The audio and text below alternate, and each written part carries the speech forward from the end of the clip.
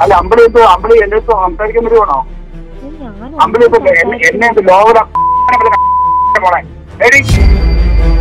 നാറ്റിക്കും നാറ്റിക്കും എന്നൊക്കെ പറഞ്ഞിരുന്നെങ്കിലും ഇങ്ങനത്തെ ഒരു രീതി ഞങ്ങൾ വീഡിയോ കോൾ ചെയ്തിട്ടുണ്ട് അത് സത്യമാണ്. ഈ സ്ക്രീൻഷോട്ടിൽ എവിടെയെങ്കിലും എന്റെ എന്തെങ്കിലും ബോഡി പാർട്സ് പക്ഷേ ഇതൊക്കെ ഞാൻ ഈ കല്യാണം കഴിഞ്ഞതിന് ശേഷം ചെയ്തതാണെന്ന് പറയുമ്പോൾ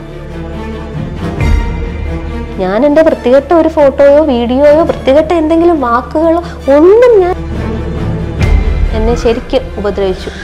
അടിച്ചു കർണക്കുറ്റിക്ക് തന്നെ അങ്ങനെ പറയാമല്ലോ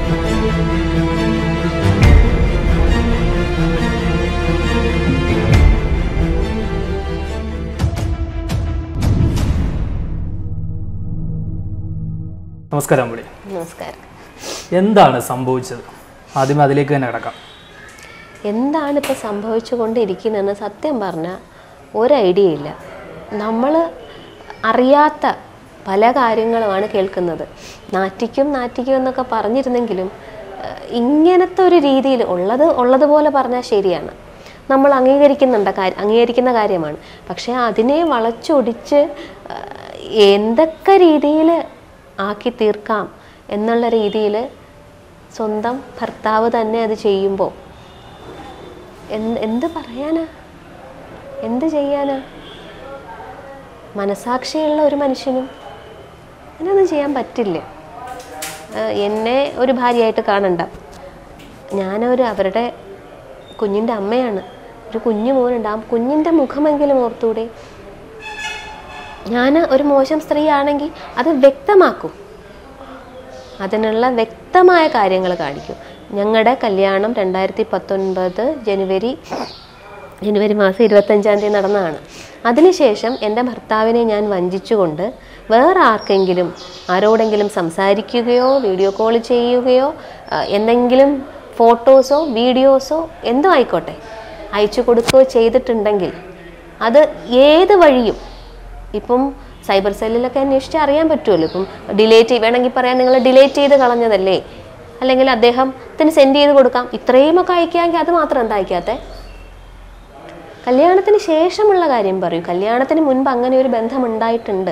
അത് സത്യമായ കാര്യമാണ്. എനിക്കും എന്റെ വീട്ടുകാർക്കും ടീച്ചറിനും സാബുണൻ അതറിയാവുന്ന ഒരു കുറേ ആൾക്കാരുണ്ട്. ഈ പറയുന്ന വ്യക്തിയുടെ പേരൻസ് എനിക്കതൊരു പ്രപ്പോസൽ വന്നതാണ് ലണ്ടനിൽ നിന്ന് ആ ഒരു കഥ? എന്ന് പറഞ്ഞാൽ എന്റെ ഡിവോഴ്സ് കഴിഞ്ഞ് നിൽക്കുന്ന സമയം എനിക്ക് ഇങ്ങനെ ഒരു പ്രപ്പോസൽ വരികയാണ്. ടീച്ചറിന് അറിയാവുന്ന വ്യക്തിയാണ്. ഇതേ വ്യക്തി എന്നെ വർഷങ്ങൾക്ക് മുമ്പ് എന്റെ ആദ്യ വിവാഹത്തിന് മുൻപ് കല്യാണം ആലോചിച്ച് അദ്ദേഹം അല്ല ആലോചിച്ചത് ടീച്ചറാണ് വിളിച്ച് അമ്പിളിക്ക് ഇങ്ങനെ ഒരു പയ്യനുണ്ട് ഷിജു മേനൻ എന്നാണ് പേര്. പറയുന്നത്? എന്റെ ഡാൻസ് ടീച്ചർ ഗിരിയ ടീച്ചർ.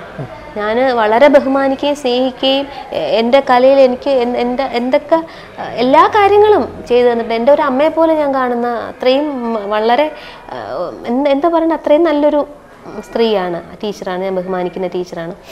ടീച്ചറാണ് ഈ ഒരു പ്രപ്പോസൽ ആദ്യം പറയുന്നത്. രണ്ടായിരത്തി ഒൻപതിൽ പറയും പക്ഷേ ഓൾറെഡി എന്റെ കല്യാണം ഫിക്സ്ഡ് ആയിരുന്നു. അങ്ങനെ ടീച്ചർ തന്നെ പറഞ്ഞു ഷിജു അമ്പിളിക്ക് മാരേജ് ആയി എന്ന് പറഞ്ഞു. വർഷങ്ങൾക്ക് ശേഷം എന്റെ ഡിവോഴ്സ് നടന്നു. ഇതിനിടയ്ക്ക് രണ്ടായിരത്തി പതിനാറിൽ ഞാനൊരു കച്ചേരി ചെയ്തു. അപ്പോൾ ടീച്ചറിന്റെ അടുത്ത് ഒരു വലിയ ഗ്യാപ്പ് ഉണ്ടായിരുന്നു എനിക്ക്. ഡാൻസുമായിട്ട് ഉള്ള ഒരു ഗ്യാപ്പ് ഉണ്ടായിരുന്നു. രണ്ടായിരത്തി പതിനാറിലാണ് ഞാൻ വീണ്ടും കുറച്ചുകൂടെ നല്ല രീതിയിൽ ഡാൻസിലേക്ക് ഇറങ്ങുന്നത്. ഒരു കച്ചേരി ചെയ്തു.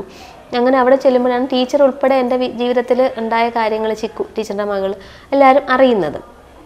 ഇദ്ദേഹം എങ്ങനെയോ എന്റെ ഡിവോഴ്സായി കഴിഞ്ഞതിന് ശേഷം ഇത് കാര്യങ്ങൾ അറിഞ്ഞിട്ട് ഇദ്ദേഹത്തിന് എന്നെ കല്യാണം കഴിക്കാൻ ആഗ്രഹമുണ്ടായിരുന്നു. ഈ വ്യക്തി ഇതുവരെയും ഇത് ഇതുവരെ എനിക്കറിയില്ല. ഞാനുമായിട്ട് സംസാരിക്കുന്നവർ വേറൊരു മാരേജ് കഴിച്ചിട്ടുണ്ടായിരുന്നില്ല. പുള്ളിയുടെ ഫസ്റ്റ് മാരേജിന് വേണ്ടിയിട്ടായിരുന്നു. എനിക്ക് മെസ്സേജ് അയച്ചു. എന്റെ കയ്യിൽ കിടപ്പുണ്ട്. ക്യാൻ ഐ മാരി യു ഞാനത് തരാം. നിങ്ങളത് കാണിക്കണം. അപ്പോൾ പ്രപ്പോസൽ വന്നു. എന്റെ അച്ഛനോട് സംസാ അതിൽ പറയുന്നുണ്ട് വ്യക്തമായിട്ട്. എനിക്ക് എന്റെ പേരൻസിന് ഇഷ്ടമാണ് അവർ ഹാപ്പിയാണ് ടീച്ചറിനറിയാം നമുക്ക് മൂന്ന് പേർക്കും സന്തോഷമായിട്ട് ജീവിച്ചൂടെ ഞാൻ പറയുന്നുണ്ട് ഞാനൊരു വിവാഹത്തെപ്പറ്റി ചിന്തിച്ചിട്ടില്ല. അങ്ങനെ പറയരുത് സിംഗിൾ പേരന്റായിട്ട് ഇരിക്കരുത്. നല്ല രീതിയിൽ ആലോചിച്ച് നോക്കൂ എന്നൊക്കെ ഉള്ള രീതിയിൽ സംസാരങ്ങൾ വരികയും ഇതിന്റെ ഇടയ്ക്ക് അതിന് തൊട്ട് മുമ്പ് തൊട്ട് മുമ്പെന്ന് പറയാം. എന്റെ ഞങ്ങളുടെ ഒരു മേക്കപ്പ് മാൻ ഉണ്ട് സാബു അണ്ണൻ മേക്കപ്പ് മാൻ അല്ല എന്റെ ഒരു സഹോദരനാട്ടോ. അദ്ദേഹം എന്റെ അടുത്ത് പറഞ്ഞു അമ്പിളി ഇങ്ങനെ ഷീജു ടീച്ചറിന്റെ അടുത്ത് പറഞ്ഞു അമ്പിളി കല്യാണം കഴിക്കാൻ ആഗ്രഹമുണ്ട്? നല്ല ആലോചനയാണ് മോളെ. മോൾ ഈ ഇങ്ങനെ ഇങ്ങനെ ഒറ്റയ്ക്ക് നിൽക്കല്ലേ നീ പോയി രക്ഷപ്പെടുക നന്നായി ജീവിക്ക് എന്ന് പറഞ്ഞു. അങ്ങനെ അതിനുശേഷമാണ് ഇദ്ദേഹം എന്നോട് ഈ പ്രപ്പോസൽ നടത്തുകയും എന്റെ അച്ഛനോട് സംസാരിച്ചു അമ്മയോട് സംസാരിച്ചു അദ്ദേഹത്തിന്റെ വീട്ടുകാർക്ക്. അപ്പോൾ എനിക്ക് ഒരുപാട് സംശയങ്ങളുണ്ടായിരുന്നു. കാര്യം സ്വാഭാവികമായും ആദ്യ വിവാഹം എന്ന് പറയുമ്പോൾ ഞാൻ മാരീഡാണ് എനിക്കൊരു കുഞ്ഞുമുണ്ട്. അപ്പോൾ എന്തുകൊണ്ട് എന്നെ ഒരു വ്യക്തിയെ സ്വീകരിക്കാൻ ഞാൻ ചോദിച്ചിട്ടുണ്ട്. അപ്പോൾ എന്റെ വീട്ടുകാരാണെങ്കിലും ഭയങ്കര എന്താ അങ്ങനത്തെ ഒരു പഴഞ്ചൻ ചിന്താഗതിയുള്ളവരല്ല. അമ്മയാണെങ്കിലും അച്ഛനാണെങ്കിലും അതുപോലെ യു കെയിൽ നമ്മളിപ്പോൾ കല്യാണം കഴിഞ്ഞാലും യു കെയിലേക്കായിരിക്കും പോവുക. കഴിയുമ്പോൾ അവിടെയുള്ള ആൾക്കാരും അത്രയും മോഡേണായിട്ട് ഇതൊന്നും ഒരു പ്രശ്നമല്ല. ഒരു കല്യാണം കഴിഞ്ഞതും കുഞ്ഞുള്ളതും പിന്നെ അദ്ദേഹത്തിന്റെ കാര്യങ്ങൾ സംസാരിച്ചു. അപ്പോൾ നമ്മൾ പുറത്തുനിന്ന് ഒരു കല്യാണ ആലോചന വരുമ്പോൾ നമുക്ക് സംസാരിക്കാൻ വീഡിയോ കോൾ ചെയ്യുമല്ലോ. അദ്ദേഹത്തെ ഞാൻ ഇന്ന് ഈ നിമിഷം വരെയും കണ്ടിട്ടില്ല. അപ്പൊ കണ്ടിട്ടില്ല. അപ്പോൾ മനസ്സിലാക്കാം എന്തൊക്കെ ബന്ധം അതിലുണ്ടായിട്ടുണ്ട് എന്ന്. അങ്ങനെ പ്രപ്പോസൽ വന്നു. പക്ഷേ കുറച്ച് ദിവസങ്ങൾ കഴിയുമ്പോൾ മാസങ്ങൾ കഴിയുമ്പോൾ ഇപ്പോൾ നമ്മൾ ഇതൊരു വെറുതെ ഒരു ചാറ്റിംഗ് ആയിട്ടോ അല്ലെങ്കിൽ നേരം പോക്ക് വേണ്ടിയോ അല്ലെങ്കിൽ വേറെ എന്തെങ്കിലും ആവശ്യങ്ങൾക്ക് വേണ്ടി ഒന്നും തുടങ്ങിയ സംസാരമല്ല. ഒരു കല്യാണം എന്ന് പറഞ്ഞു എന്റെ പേരൻസ് ഉൾപ്പെടെ പറഞ്ഞു നീ സംസാരിക്കുക കാര്യങ്ങൾ പറയും. നമുക്ക് നല്ലതാണെങ്കിൽ അക്സെ ഉൾക്കൊള്ളാൻ പറ്റുമെങ്കിൽ നീ പോ- രക്ഷപ്പെട്. നീ അങ്ങനെ തന്നെ എന്റെ അച്ഛനും അവർക്ക് വിഷമമുണ്ട് മകളെ വീട്ടിൽ നിൽക്കാൻ വിഷം വിഷമമുണ്ട്. എങ്കിൽ പോലും നിനക്കൊരു നല്ല ലൈഫ് ഇനി കിട്ടുമെങ്കിൽ. നല്ലതല്ലേ അമ്പിളി? എന്നൊക്കെ പറഞ്ഞ് ഇവരെന്നെ കുറേ ഉപദേശിക്കുന്നുണ്ടായിരുന്നു. ടീച്ചർ പറഞ്ഞിട്ടുണ്ട് ഒറ്റയ്ക്ക് അങ്ങനെ നിൽക്കരുത്. ഇനി ഒരുപാട് പേര് ആ സമയത്ത് പറഞ്ഞിരുന്നു കല്യാണം കഴിക്കണം എന്നുള്ള കാര്യങ്ങൾ. അങ്ങനെ ഞങ്ങൾ വീഡിയോ കോൾ ചെയ്തിട്ടുണ്ട് അത് സത്യമാണ്. ഇതിനകത്ത് ആ സ്ക്രീൻഷോട്ടുകൾ കാണിക്കുന്നു. ഈ സ്ക്രീൻഷോട്ടിൽ എവിടെയെങ്കിലും എന്റെ എന്തെങ്കിലും ബോഡി പാർട്സ് കാണുന്നുണ്ടോ? കാണുന്നുണ്ടെങ്കിൽ അതൊന്നും എനിക്ക് കാണണം. കാരണം ഇവർ ബ്ലേഡായിട്ട് എന്തോ കാണിക്കുന്നു. ഈ സംഭവം സംസാരിച്ചിരിക്കുന്നത് ഈ എന്റെ വിവാഹത്തിന് മുൻപാണ്. ഡിവോഴ്സ് കഴിഞ്ഞ് രണ്ടാം വിവാഹത്തിന് മുൻപാണ് ഈ സംഭവം നടന്നിരിക്കുന്നത്. അതിനുശേഷം കല്യാണം നടക്കാതെ പോയെന്ന് വെച്ചാൽ കുഞ്ഞിന്റെ വിഷയത്തിലാണ്. എന്റെ മകനെ എനിക്ക് വിട്ടു നിൽക്കാൻ പറ്റില്ല. മകനെ വേണ്ട എന്ന് പറഞ്ഞു കുഞ്ഞിന് ആളിനെ ഇഷ്ടമായിരുന്നു കുഞ്ഞിനെ ഭയങ്കര സ്നേഹം. എനിക്ക് അത്രയ്ക്ക് മെസ്സേജുകളുണ്ട്. കുഞ്ഞിനെ ഭയങ്കര എനിക്ക് തരുമോ എനിക്ക് എനിക്ക് എല്ലാം നമുക്ക് പഠിപ്പിക്കുക അവനെ മിടുക്കനാക്കണം. അത്രയും സ്നേഹമായിട്ടാണ് സംസാരിച്ചത്. പക്ഷേ കുഞ്ഞിനെ എന്റെ ഡിവോഴ്സ് നടക്കുമ്പോൾ നമുക്ക് കുറച്ച് എഗ്രിമെന്റ്സ് ഉണ്ടല്ലോ. അപ്പോൾ കാണിക്കുന്നുണ്ട്. പിന്നെ അദ്ദേഹത്തിന് സൗകര്യം മുൻ ഭർത്താവിന് സൗകര്യം അപ്പോൾ കുഞ്ഞിനെ കാണിക്കണം എന്നുള്ള ഒരു എഗ്രിമെന്റ് നമുക്ക് പേപ്പറുണ്ട് അപ്പോൾ അങ്ങനെ ലീഗലി ഒരു ഇത് കിടക്കുമ്പോൾ കുഞ്ഞിനെയും കൊണ്ട് പോകാൻ പറ്റില്ല. അങ്ങനെ ഞങ്ങൾ അദ്ദേഹം പറഞ്ഞതനുസരിച്ച് ഈ- ലണ്ടനിലുള്ള അദ്ദേഹം പറഞ്ഞതനുസരിച്ച് ഞങ്ങളൊരു അഡ്വക്കേറ്റിനെ കണ്ട്. സ്മിത ചേച്ചി ചേച്ചിക്ക് അറിയാവുന്ന കാര്യമാണ്. പക്ഷേ ലീഗലി അത് പ്രോബ്ലംസ് ഉണ്ടാക്കും. ഈ സാബുവണ്ണൻ ഒരുപാട് പേരെടുത്ത് അന്വേഷിച്ചു. അപ്പോഴും കിട്ടുന്ന അറിവ് ഇത് ഒരു കുഞ്ഞില്ലാതെയാണെങ്കിൽ ഓക്കെയാണ് പക്ഷേ എന്റെ കുഞ്ഞിനെ വിട്ട് എനിക്ക് പോകാൻ പറ്റില്ല. അവനെ വിട്ടിട്ട് എനിക്ക് ഇനി എന്ത് നല്ല ലൈഫ് എന്ന് പറഞ്ഞിട്ട് അത് ഉൾക്കൊള്ളാനോ എനിക്ക് പറ്റില്ല. പിന്നെ ഇദ്ദേഹത്തിന്റെ വീട്ടിലുള്ളവർക്കും ഇദ്ദേഹത്തിന്റെ സഹോദരി ഷീബ ആ ചേച്ചിക്ക് കുറച്ച് ബുദ്ധിമുട്ടുണ്ടായിരുന്നു. അമ്പിളിയെ ഇഷ്ടമാണ് പക്ഷേ മകൻ അതെങ്ങനെയായിരിക്കും? സ്വാഭാവികമായിട്ടും ന്യായമായ ചോദ്യമാണ്. ആർക്കും ആർക്കും തോന്നുന്ന ഒരു ചോദ്യം തന്നെയാണ്. അവരെ നമ്മൾ കുറ്റം പറയാൻ പറ്റില്ല. അങ്ങനെ വന്നപ്പോൾ ഞാൻ പറഞ്ഞു ഈ സാബുണ്ണന്റെ അടുത്തും പറഞ്ഞു. പിന്നീട് സാബുണ്ണനായിരുന്നു ഒരു കാര്യങ്ങൾ അങ്ങോട്ടും ഇങ്ങോട്ടും പറയലും ഒക്കെ. ആ ടീച്ചർ പറഞ്ഞിട്ടുണ്ടായിരുന്നു. ടീച്ചർ വിളി പറഞ്ഞു അവൾ നാട്ടിൽ വന്നിട്ട് നമുക്ക് പേരൻസിനെ കണ്ട് സംസാരിക്കാം. ഓരോ പ്രാവശ്യവും അദ്ദേഹം പറഞ്ഞു ഞാൻ അടുത്ത മാസം വരും. നേരിട്ട് സംസാരിക്കുമ്പോൾ പ്രശ്നങ്ങളൊക്കെ സോൾവ് ആകും. എന്നാൽ ഈ ലീഗലി ഉള്ളൊരു പ്രോബ്ലം കിടപ്പുണ്ടല്ലോ. അങ്ങനെ ഞാൻ അവസാനം പറഞ്ഞു ഈ വിവാഹത്തിലേക്കല്ല എന്നുണ്ടെങ്കിൽ നമുക്ക് ഇങ്ങനെ സംസാരിക്കേണ്ട. വെറുതെ ഒരു സംസാരം നടത്തിയിട്ട് അതിനെനിക്ക് താല്പര്യമില്ല. മാരേജ് എന്ന് പറഞ്ഞ് വന്നതുകൊണ്ട് മാത്രമാണ് ഞാൻ സംസാരിച്ചതും വീഡിയോ കോൾ ചെയ്തതുമെല്ലാം. അതിനുശേഷം ഞങ്ങൾ സംസാരിക്കാറില്ല. ഞാൻ സാബോണിന്റെ അടുത്ത് പറഞ്ഞു സാബോണിനെ ഒന്ന് പറയണം. എനിക്കൊരു ഫ്രണ്ട്ഷിപ്പായിട്ട് കൊണ്ടുപോകാൻ പോലും താല്പര്യമില്ല. അതവിടെ തീർന്നു. ഈ പുള്ളിയെടുത്ത് പക്ഷേ ഞാൻ ഞാനായിട്ട് പറഞ്ഞില്ല. ഞാൻ ഇത്രേ പറഞ്ഞിരുന്നുള്ളൂ. ഒരു ഫ്ര ഈ കല്യാണമായിട്ടാണ് ആലോചിച്ച് വന്നത്. പക്ഷെ അത് നടക്കാത്ത സാഹചര്യത്തിൽ വീട്ടുകാർ പല കാരണങ്ങൾ വീട്ടിൽ പ്രശ്നങ്ങൾ പിന്നീട് പറഞ്ഞു. പിന്നീട് ലീഗലി ഇഷ്യൂസ്. അപ്പം ഒരിക്കലും നടക്കാത്തൊരു ബന്ധത്തിന് നമ്മൾ സംസാരിച്ചിട്ട് എന്ത് ചെയ്യാനാ? അങ്ങനെ ഒരു ഫ്രണ്ട്ഷിപ്പിന്റെ ആവശ്യമില്ല. പിന്നീട് വിളിക്കുമ്പോൾ ഞാൻ ഇദ്ദേഹത്തിന്റെ ഫോൺ കോൾസ് അറ്റൻഡ് ചെയ്യാതായി. അതിനൊക്കെ ശേഷമാണ് എനിക്ക് ഇങ്ങനെ ഒരു പ്രപ്പോസൽ എന്റെ ആദ്യ ഭർത്താവിന്റെ വരുന്നത്. എന്റെ ഇടയ്ക്ക് ഒരു കാര്യം പറഞ്ഞിട്ട് ഒരു വീഡിയോയുടെ ക്ലിപ്പിംഗ് ഇവർ കാണിക്കുന്നുണ്ട്.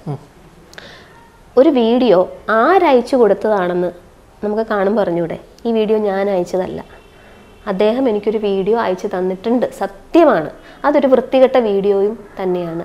ഞാൻ എനിക്ക് ഇങ്ങനെ ഒരെണ്ണം അയച്ചു തരണമെന്നോ അല്ലെങ്കിൽ ഇനിയും അയച്ചു തരുമെന്നോ അല്ലെങ്കിൽ ഞാൻ അങ്ങോട്ടേക്ക് അയച്ചു കൊടുത്തതോ ഒന്നുമില്ല. അതൊന്ന് അദ്ദേഹം വ്യക്തമാക്കാൻ പറയണം. ഇപ്പം എന്നായിരുന്നു ആ വീഡിയോ കിട്ടിയത് എനിക്ക് തോന്നുന്നു രണ്ടായിരത്തി പതിനെട്ട് ഞങ്ങൾ ഈ സംസാരം നടക്കുന്ന ഇടയ്ക്കാണ്.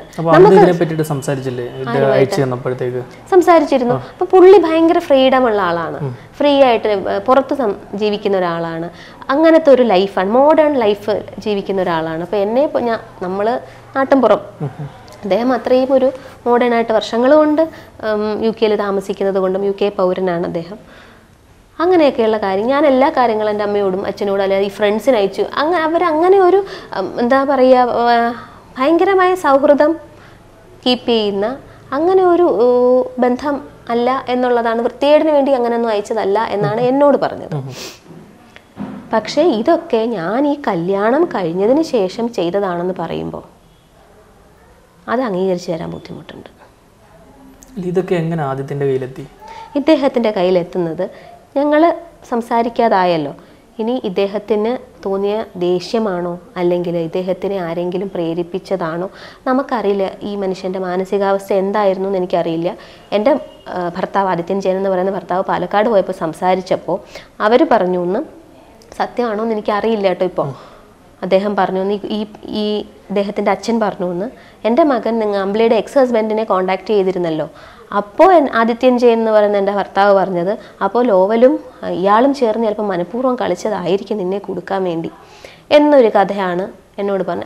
ഈ എന്തൊക്കെ കഥകളാണ് ഇതിനകത്ത് വരുന്നതെന്ന് സത്യം പറഞ്ഞാൽ മനസ്സിലാവുന്നില്ല. ഞങ്ങളുടെ കല്യാണം കഴിഞ്ഞ് കല്യാണത്തിന് മുമ്പ് തന്നെ എന്റെ ഭർത്താവിനോട് ഞാൻ പറഞ്ഞിരുന്നു ഇങ്ങനെ ഒരു പ്രപ്പോസൽ വന്ന കാര്യം പറയാൻ പറഞ്ഞിരുന്നു എന്നല്ല പറയാൻ പോയപ്പോൾ അദ്ദേഹം പറഞ്ഞ കല്യാണത്തിന് മുമ്പുള്ള കാര്യങ്ങളൊന്നും എനിക്ക് അറിയണ്ട. അവിടുന്ന് ആലോചന വന്നു ഇവിടുന്ന് ആലോചന വന്നു എന്നൊക്കെ പറഞ്ഞ് എന്നെ വെറുതെ കുറച്ച് കാണിക്കല്ലേ? നമ്മുടെ രണ്ടുപേരുടെ കല്യാണം കഴിഞ്ഞുള്ള കാര്യങ്ങൾ മാത്രം നമുക്ക് സംസാരിച്ചാൽ മതി എന്നുള്ള കാര്യം പറഞ്ഞിരുന്നു. അങ്ങനെ ഈ കാര്യം ഞാൻ പറഞ്ഞിട്ടില്ല സത്യമാണ്. പക്ഷേ ഞങ്ങളുടെ കല്യാണം കഴിഞ്ഞ് ഫെബ്രുവരി മാസം ഒൻപതാം തീയതി പ്രഗ്നന്റ് ആയിരിക്കുമ്പോഴല്ല അദ്ദേഹം കള്ളം പറഞ്ഞ കേട്ടോ അത്. ഫെബ്രുവരി മാസം ഒൻപതാം തീയതി ഈ മനുഷ്യൻ എനിക്കൊരു നെറ്റ് കോൾ ചെയ്തു. എന്റെ ഞങ്ങളുടെ കല്യാണത്തിന് ശേഷം എന്റെ ഫോൺ ഫുൾ യൂസ് ചെയ്യുന്നത് എന്റെ ഹസ്ബൻഡാണ് അദ്ദേഹമാണ് പോസ്റ്റ് ഇടുന്നതായാലും ഇപ്പോൾ കോൾസ് അറ്റൻഡ് ചെയ്യുന്നതായാലും വാട്സപ്പ് എല്ലാം അദ്ദേഹം തന്നെയാണ് എന്റെ ഫോൺ യൂസ് ചെയ്യുന്നത്.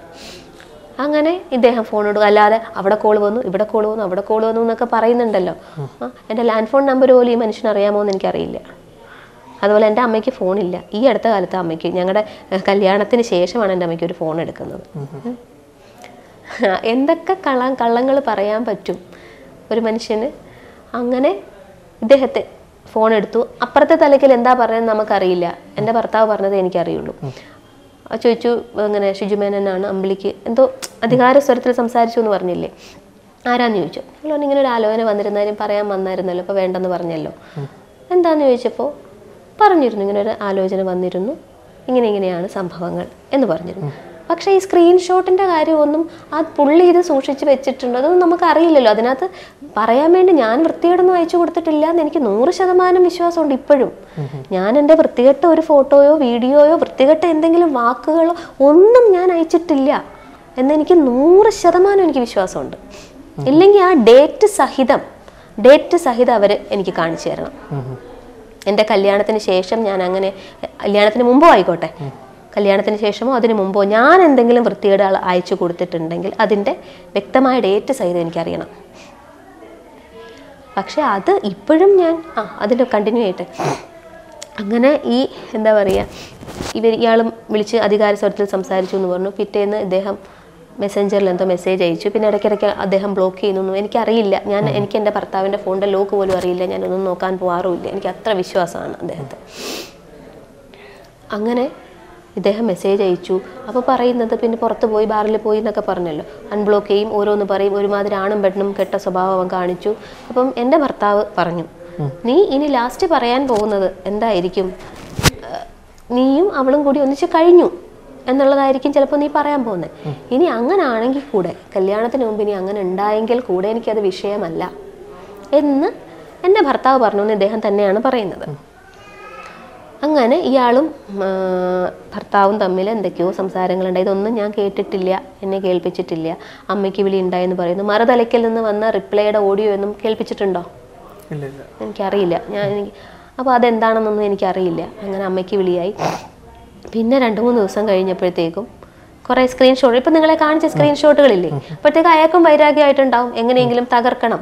ഇവർ തമ്മിലുള്ള സംസാരത്തിൽ എന്റെ ഭർത്താവിന്റെ സംസാര രീതി എന്താണെന്ന് ഞാൻ കേൾപ്പിച്ചു തരാം. അപ്പോൾ ആ രീതിയിലുള്ള സംസാരങ്ങൾ ഒക്കെ ആയിരുന്നിരിക്കാം ഉണ്ടായിട്ടുണ്ടാവുക.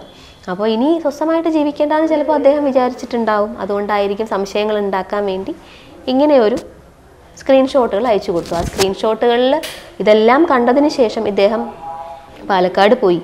പാലക്കാട് പോയി ഇവരുടെ പേരൻസുമായിട്ട് സംസാരിച്ചു. അപ്പോഴും നമ്മൾ വിചാരിക്കുന്നത് പോയി സംശയം തീർത്ത് വരട്ടെ. ഒരു കരട് മനസ്സിലുണ്ടെങ്കിൽ ആ ആജീവനാന്തം അതിങ്ങനെ കിടക്കും. അങ്ങനെ പോയി എല്ലാം മനസ്സിലാക്കി അവർ കാര്യങ്ങൾ പറഞ്ഞു. അപ്പോൾ നമ്മൾ പറഞ്ഞതും സത്യമാണെന്ന് മനസ്സിലായി. വന്നു. ഇനി മാപ്പ് കാര്യങ്ങൾ അങ്ങനെ ഒരു തെറ്റിദ്ധാരണ ഉണ്ടായതാണ്. ആ ഡേറ്റുകൾ വരെ വരെ നോക്കുമ്പോൾ നമുക്ക് അറിയാൻ പറ്റുമല്ലോ എന്നൊക്കെയാണ് എന്റെ ഭർത്താവ് പറഞ്ഞത്. ഇപ്പോൾ ഓരോ മെസ്സേജിന്റെ അദ്ദേഹം അയച്ച കുറേ ഒന്നുമില്ല. കുറേ എന്തൊക്കെ എന്തൊക്കെയോ ഡിലേറ്റ് ചെയ്തിട്ടൊക്കെയാണ് അയച്ചു കൊടുത്തിരിക്കുന്നത്. അപ്പോൾ എനിക്ക് നല്ലോണം നോക്കിയപ്പോൾ എനിക്ക് കാര്യങ്ങളെല്ലാം മനസ്സിലായി. എന്നാലും ഇവൻ ഫേസ്ബുക്കിലെങ്ങാനും ഇടുമെന്ന് പറഞ്ഞു. അതുകൊണ്ട് വേണ്ടിയാണ് ഞാൻ അവിടെ പോയത് എന്നൊക്കെയാണ് നമ്മളോട് പറഞ്ഞിരുന്നത്. ആ വിഷയം അവിടെ കഴിഞ്ഞല്ലോ. പിന്നീട് ഈ വ്യക്തിയുമായിട്ട് എന്റെ മെസ്സഞ്ചർ കല്യാണത്തിന് മുമ്പേ ഞാൻ അൺഇൻസ്റ്റാൾ ചെയ്തതാണ്. പിന്നെ ഞങ്ങളുടെ ജീവിതത്തിൽ എന്താ ഉണ്ടായെന്ന് പറഞ്ഞാൽ ഓ എന്തെങ്കിലും ഒരു കാര്യം സംസാരിച്ചു കഴിഞ്ഞാൽ എപ്പോഴും ഈ രണ്ട് പേരുകൾ ഈ കല്യാണം ആലോചിച്ച് അത് അദ്ദേഹത്തെ വിളിക്കുന്ന കാമുകൻ എന്നാണ്. കാമുകന്റെ പേരും എന്റെ എക്സ് ഹസ്ബൻഡിന്റെ പേരും വലിച്ചിഴച്ച് ഒരുപാട് ചീത്തകൾ പറയാറുണ്ട് ഉപദ്രവിച്ചിട്ടുണ്ട്. ഈ ഈ സ്ക്രീൻഷോട്ടുകൾ അയച്ച ദിവസം എന്നെ ശരിക്കും ഉപദ്രവിച്ചു. അടിച്ചു കർണക്കുറ്റിക്ക് തന്നെ അങ്ങനെ പറയാമല്ലോ അടിച്ചു. ലാസ്റ്റ് ഞങ്ങൾ പുറത്താ. ഞാൻ എപ്പോഴും ചേഞ്ചേട്ടൻ വരുമ്പം ഓടിപ്പോവും പുറത്ത് പോവും. അങ്ങനെ അവിടെ നിന്ന് ഞാൻ പറയുന്ന ഒന്നും കേൾക്കാൻ സമ്മതിക്കാതെ എന്നെ നല്ല രീതിയിൽ അടിച്ചു. ലാസ്റ്റ് തടിയുടെ ശബ്ദം അകത്ത് കേട്ട് അകത്ത് നിന്ന് എല്ലാവരും ഓടി ഇറങ്ങി വന്നു. ഞാൻ പറഞ്ഞു കാറിലടിച്ചതാന്ന് പറഞ്ഞു. ആദ്യത്തടിക്ക് ഞാൻ വീണു. വീണ് അവിടുന്ന് എഴുന്നേറ്റ് രണ്ടാമതടിച്ചു മൂന്നാമതടിച്ചു ലാസ്റ്റ് തടി ഭയങ്കരമായിട്ടുള്ളൊരടിയായിരുന്നു. എനിക്ക് ഇന്നും പറഞ്ഞില്ല എനിക്ക് ഇടയ്ക്ക് തലവേദനയുണ്ട്. അതിനുശേഷമാണ് ഇദ്ദേഹം പാലക്കാട് പോയി കാര്യങ്ങളെല്ലാം മനസ്സിലാക്കി. പിന്നെ വായിന്ന് വരുന്ന ചീത്തകൾ ഇത്രയും ഇങ്ങനെയൊക്കെയുള്ള വാക്കുകളുണ്ടെന്ന് സത്യം പറഞ്ഞാൽ എനിക്ക് പിന്നീട് ഇപ്പോഴാണ് മനസ്സിലാവുന്നത് ഇങ്ങനെയൊക്കെയുള്ള. നമ്മളൊന്നും അങ്ങനെ യൂസ് ചെയ്യുന്ന ആൾക്കാരല്ല. കേട്ടിട്ടുമില്ല. എല്ലാം കഴിഞ്ഞ് പിന്നെയും സന്തോഷമായിട്ട് പോകുന്നു. അപ്പം ഇത്രയും പ്രശ്നങ്ങൾ ഉണ്ടായപ്പോൾ അന്ന് ഈ ഡിവോഴ്സിനെ പറ്റിയിട്ടോ അങ്ങനെ എന്തെങ്കിലും അദ്ദേഹം പറഞ്ഞിരുന്നു ഇല്ല. അതാ ഞാൻ ചോദിക്കുന്നത് ഇനിയിപ്പം അതിലെന്തെങ്കിലും സംശയം ഉണ്ടായിരുന്നുവെങ്കിൽ ഇപ്പൊ എന്റെ എന്തെങ്കിലും വൃത്തികെട്ട കാര്യങ്ങൾ ഉണ്ടായിരുന്നെങ്കിൽ പിന്നെ എന്തിനാണ് അദ്ദേഹം വീണ്ടും എന്നോട് ജീവിച്ചത്? ആ മനുഷ്യൻ ഷിജു മേനോൻ എന്ന് പറഞ്ഞ മനുഷ്യൻ ഇദ്ദേഹത്തിന് എന്നാണ് ഈ സ്ക്രീൻഷോട്ട് അയച്ചു കൊടുത്തതെന്ന് അദ്ദേഹത്തിന്റെ ഫോണിൽ ഉണ്ടാവുമല്ലോ അതൊന്ന് കാണിക്കാൻ പറയൂ. ഇപ്പോഴാണോ? അന്നാണോ? ഏത് ഡേറ്റ് ആണെന്ന് പറയാൻ പറയണം. അപ്പൊ അന്ന് സംശയം ഉണ്ടായിരുന്നെങ്കിൽ ഞാനൊരു വൃത്തികെട്ട സ്ത്രീ ആയിരുന്നെങ്കിൽ പിന്നെ രഞ്ജേട്ടനെ പോലൊരു വ്യക്തി എന്തിനാണ് എന്റെ കൂടെ കഴിഞ്ഞത്? എന്റെ ആവശ്യമില്ലായിരുന്നല്ലോ. അന്നേ ഇട്ടിട്ട് പോവായിരുന്നല്ലോ. പിന്നീടും ജീവിച്ചു. ഏപ്രിൽ മാസമാണ് ഞാൻ പ്രഗ്നന്റ് ആവുന്നത്. ഏപ്രിൽ മാസം കഴിഞ്ഞ് മെയ് മാസം ഒരു കളറിയുടെ ഇഷ്യൂ പറയുന്നുണ്ട്. ഇതൊക്കെ പറയാൻ സത്യം പറഞ്ഞാൽ എനിക്ക് ഇത് ഓരോന്നും പറയുക എന്ന് പറയുമ്പോൾ വളരെ ബുദ്ധിമുട്ടുള്ള കാര്യമാണ്. ഇങ്ങനെയൊക്കെയുള്ള വീട്ടിനകത്ത് ഉണ്ടാകുന്ന കുഞ്ഞു കുഞ്ഞു കാര്യങ്ങളെ ഇത്രയും വലുതാക്കി പറയുമ്പോൾ നാട്ടുകാർ വരെയും സത്യം എനിക്ക് വിഷമമുണ്ട്. പക്ഷേ ഇതിൽ കുറേ പേരുകൾ ഞാൻ മൂലം നിരപരാധികളായ കുറേ പേരുകൾ അവർ കഷ്ടപ്പെടുന്നുണ്ട് വിഷമിക്കുന്നുണ്ട്. അതുകൊണ്ട് മാത്രം എനിക്ക് പറയേണ്ടി വരുന്നതാണ്. ഇപ്പം ഇങ്ങനെ ഒരു പ്രശ്നം വന്നു കഴിഞ്ഞപ്പോഴത്തേക്ക് സോഷ്യൽ മീഡിയയിൽ ഒരുപാട് ഉയരുന്ന ചോദ്യമാണ് എന്തുകൊണ്ടാണ് ഒരുപാട് വിവാഹങ്ങൾ കഴിച്ചിട്ടുള്ള പല പെൺകുട്ടികളുടെ ജീവിതത്തെ കറുത്തിട്ടുള്ള ആദ്യത്തിനെ അമ്പിളി വിവാഹം ചെയ്തു എന്ന് എന്താണ് അതിന് കാരണം? എനിക്ക് രണ്ട് കാര്യങ്ങളെ അറിയില്ലായിരുന്നു സത്യം പറഞ്ഞാൽ. ആദ്യത്തെ വിവാഹം അത് ലീഗലി ഡിവോഴ്സ്ഡ് ആണ്. പിന്നെ ഒരു ലിവിങ് ടുഗദർ ഉണ്ട് അതിലൊരു മകനുണ്ട്. അത് ഇപ്പോൾ എന്നെ പറയുന്നത് പോലെ കൂടെ വന്ന പെൺകുട്ടികളുടെ എല്ലാം പ്രശ്നമായിരുന്നു എന്ന് പറഞ്ഞ് വിശ്വസിപ്പിച്ചിരുന്നു. പല കാര്യങ്ങൾ. ഇപ്പോൾ എന്നെ കുറിച്ച് പറയുന്നുണ്ട്. ഒരു സമയം പല ആൾക്കാരുമായിട്ട് ബന്ധം. അതുപോലെ ഇവർ ലിവിങ് ടുഗദറിലുള്ളവരുടെ ഡ്രസ്സിങ് രീതി അവർ പബ്ബുകളിൽ പോവാ പബ്ബുകളിൽ പോവാറുണ്ടായിരുന്നു. അങ്ങനെയൊക്കെ എന്താ ഒരുപാട് എനിക്കിപ്പം അവരെ പറ്റി ഇൻസൾട്ട് ചെയ്യേണ്ട ആവശ്യമില്ല. കാരണം ഇദ്ദേഹമാണ് പറഞ്ഞതുകൊണ്ട് എനിക്കിപ്പോൾ വിശ്വാസക്കുറവുണ്ട്. പിന്നെ ഇടയ്ക്ക് ഇദ്ദേഹത്തിന്റെ അപ്പോൾ ഞാൻ ചോദിച്ചിരുന്നു ഒരു മകനുള്ളതല്ലേ അപ്പോൾ അത് പിന്നീടൊരു ഇഷ്യൂസ്. അപ്പോൾ ഒരു ഇതുമില്ല. കാരണം അത് എന്റെ മകനല്ല എന്ന് ഈ പെൺകുട്ടി തന്നെ ഇദ്ദേഹത്തോട് പറഞ്ഞിട്ടുണ്ടെന്ന്. അത് നിങ്ങളുടെ മകനല്ല.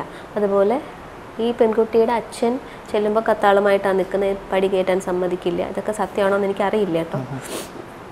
എന്നൊക്കെ പറഞ്ഞിരുന്നു. പിന്നെ ഇവരുടെ വല്യമ്മ എന്ന് പറയുന്ന ഒരു സ്ത്രീയുമായിട്ട് കോൺഫറൻസിലിട്ട് സംസാരിച്ചു.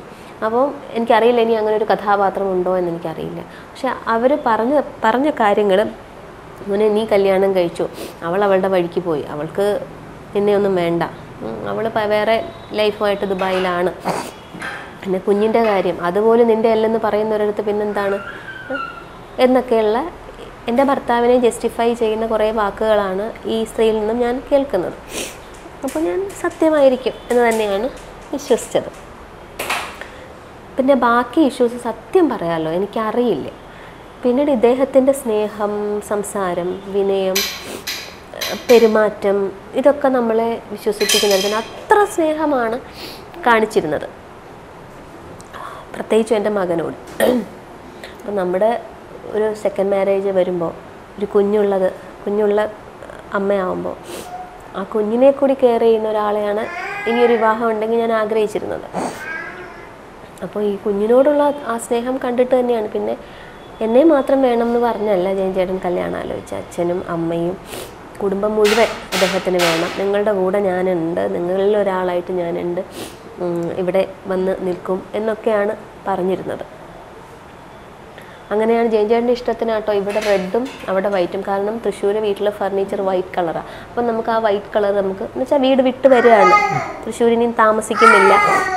അദ്ദേഹത്തിന് ഇഷ്ടപ്പെട്ട പെയിന്റ് അടിച്ച് ഇവിടെ വൈറ്റ് കളർ ഫർണിച്ചർ ഇടാം എന്നൊക്കെയാണ് ഉദ്ദേശിച്ച് അത് അതിന്റെ അടിസ്ഥാനത്തിലാണ് ഇങ്ങനെ രണ്ടും അടിച്ചതൊക്കെ. പക്ഷേ പോകെ പോകെ ഈ ഒരു റിലേഷൻ സ്റ്റാർട്ട് ചെയ്തുകൊണ്ടായിരിക്കണം നമ്മളോട് അകൽച്ചകൾ ഉണ്ടായി. അകൽച്ചയെന്ന് സ്വാഭാവികമായിട്ടും ബെഡ് റെസ്റ്റ് ആകുമ്പോൾ നമ്മൾക്ക് കല്യാണത്തിന് ശേഷമുള്ള ഒരു ജീവിത രീതി ഉണ്ടാവില്ലല്ലോ. എന്നു മുതലാണ് ഈ അകൽച്ച തുടങ്ങിയത്? അകൽച്ച എനിക്ക് പ്രകടമായിട്ട് തോന്നിയത് മോന്റെ ഒരു ജനനത്തിന് ശേഷം. കുഞ്ഞ് നവംബറിൽ ജനിക്കുന്നു. ഡിസംബർ നൂലുകെട്ടിനൊക്കെ ഭയങ്കര ഹാപ്പി ആയിരുന്നു ആൾ. അദ്ദേഹം ഒരുപാട് എന്നെ എന്റെ അടുത്ത് ഒരുപാട് തവണ പറഞ്ഞു നീ എന്നോട് ക്ഷമിക്കുന്ന എന്നെ അടിച്ചിട്ടൊക്കെ ഉണ്ടല്ലോ. അപ്പോഴത്തെ ദേഷ്യത്തിന് എനിക്ക് ഞാൻ എന്തിനാ അതൊക്കെ ചെയ്തേ? എന്നെ മോനെ നോക്കുന്ന കാര്യമായാലും ഇങ്ങനെയൊന്നും ആരും ഞാൻ കുഞ്ഞുങ്ങളെ നോക്കുന്നത് ഞാൻ കണ്ടിട്ടില്ല. കാര്യം എനിക്ക് ഉറക്കമില്ല. എന്റെ പൊന്ന് കുഞ്ഞ് അവനാണെങ്കിൽ രാത്രിയാണ് അവന്റെ പകൽ അവൻ അച്ഛനും അമ്മയും വയസ്സായിരിക്കണം. വേറെ ആരും ജോലിക്കാരോ ഒന്നുമില്ല ഈ വീട്ടിൽ അവർ കിടന്നുറങ്ങി കഴിഞ്ഞാൽ കുഞ്ഞിനെ രാത്രി മൊത്തം ഞാനാണ് എടുത്തുകൊണ്ടിരിക്കുന്നത് ഞാൻ കിടക്കുമ്പോൾ അഞ്ച് മണി ചിലപ്പോൾ ആറ് മണിയൊക്കെ ആവാറുണ്ട്. അങ്ങനെ കുഞ്ഞിനെ ഇങ്ങനെയൊന്നും ആരും നോക്കുന്ന കണ്ടിട്ടില്ല. എന്നൊക്കെയാണ് പറഞ്ഞിരുന്നത്. ഒരുപാട് പറഞ്ഞ മാതിരി ഉപദ്രവിച്ചതിനും ചീത്തകൾ പറഞ്ഞിട്ടുള്ളതിനും ഒക്കെ ഒരുപാട് വിഷമങ്ങൾ പറഞ്ഞിരുന്നു. പിന്നീട് പക്ഷേ പെട്ടെന്ന് അദ്ദേഹത്തിന്റെ മൂഡ് സ്വഭാവം ഇപ്പം നമ്മളോട് വളരെ സ്നേഹമായിട്ട് സംസാരിച്ചു. കുറച്ച് കഴിയുമ്പോൾ ആൾ വേറൊരാളായിട്ടാണ് സംസാരിക്കുന്നത്. നമ്മൾ കല്യാണം കഴിയുമ്പോൾ ആളുടെ ക്യാരക്ടർ അത് മനസ്സിലാക്കിക്കൊണ്ട് നമ്മൾ അഡ്ജസ്റ്റ് ചെയ്ത് തന്നെ അങ്ങ് പോവായിരുന്നു. ഈ ലോക്ക്ഡൗൺ സമയത്ത് ഈ കുഞ്ഞിന്റെ നൂലുകെട്ട് കഴിഞ്ഞ് ഡിസംബർ മാസം ഇരുപത്തിനാലാം തീയതിയാണ് ക്രിസ്മസിന്റെ തലേന്ന് അദ്ദേഹം ഇവിടുന്ന് പോയി. രണ്ടായിരത്തി പത്തൊമ്പത് ഡിസംബർ. തലേന്ന് പോകുന്ന ആൾ പിന്നെ എനിക്ക് തോന്നുന്നു ഒരു കുറേ നാൾ കഴിഞ്ഞതിന് ശേഷമാണ് വരുന്നത്. എന്റെ കുട്ടികളുടെ അരങ്ങേറ്റത്തിനൊന്നും അദ്ദേഹം ഇല്ല. അപ്പോൾ ആ സമയത്താണ് പറഞ്ഞിരുന്നത് ബിസിനസ് ഉണ്ടെന്ന് അവിടെ. തൃശ്ശൂർ കാരണം വർക്കുകൾ കുറവാണ് പൈസ വേണ്ടേ? ബിസിനസ് കുറച്ച് ബിസിനസ്സിന്റെ കാര്യങ്ങൾ എന്തോന്നൊന്നും ആദ്യമൊന്നും വ്യക്തമായിട്ട് പറഞ്ഞില്ല. അതുകൊണ്ടാണ് അവിടെ നിൽക്കേണ്ടി വരുന്നത് എന്നാ എന്നോട് പറഞ്ഞിരുന്നത്. അപ്പം എനിക്കും സംശയങ്ങളൊന്നും ഉണ്ടായിരുന്നില്ല. അതിനുശേഷം മാർച്ചിൽ ലോക്ക്ഡൗൺ പ്രഖ്യാപിക്കുന്നു. അങ്ങനെ ഒരു മാസം അദ്ദേഹം ഇവിടെ ഉണ്ടായിരുന്നു. എങ്ങും പോകാൻ പറ്റില്ലല്ലോ വീട്ടിൽ തന്നെ ഇരിക്കണ്ടേ? മാർച്ച് ഇരുപത്തിനാലാം തീയതി ഇവിടുന്ന് പോയ ആൾ പിന്നീട് വരുന്നത് ഓഗസ്റ്റ് മുപ്പത്. അദ്ദേഹത്തിന്റെ പിറന്നാൾ കൂടിയാണ്. ഉത്തരാടത്തിന് അന്ന് എന്റെ കുഞ്ഞിന്റെ ചോറൂണിനാണ് രാവിലെ വരുന്നത്. അത് കഴിഞ്ഞ് പോകുന്ന ആൾ പിന്നെ നവംബർ മാസമൊക്കെയാണ്. ഫേസ്ബുക്കിലെ പോസ്റ്റ് നോക്കി കറക്റ്റ് ഡേറ്റുകൾ അറിയാം. അദ്ദേഹം വരുന്ന ദിവസങ്ങളിലൊക്കെ ഉള്ളത് ചിലത് രണ്ട് ദിവസം കഴിഞ്ഞിട്ടൊക്കെ ഇടും. കുറേ ഫോട്ടോസ് ഉണ്ടെങ്കിൽ രണ്ട് ദിവസം കഴിഞ്ഞിട്ടൊക്കെ ഇടും. നവംബർ മാസം ആണ് വന്നിരുന്നത്. പിറന്നാളായിരുന്നു കുഞ്ഞിന്റെ. പിറന്നാൾ കഴിഞ്ഞിട്ട് ഉച്ചയ്ക്ക് അദ്ദേഹം ഷൂട്ടെന്ന് പറഞ്ഞ് പോയി. പിന്നെ നേരെ തൃശ്ശൂർ പോയി. പിന്നെ ട്രിവാൻഡ്രത്ത് ഷൂട്ട് ഉണ്ടെങ്കിൽ അതായത് നാളെ ട്രിവാൻഡ്രത്ത് ഷൂട്ട് ഉണ്ടെങ്കിൽ അദ്ദേഹം ഇന്ന് രാത്രി വരും.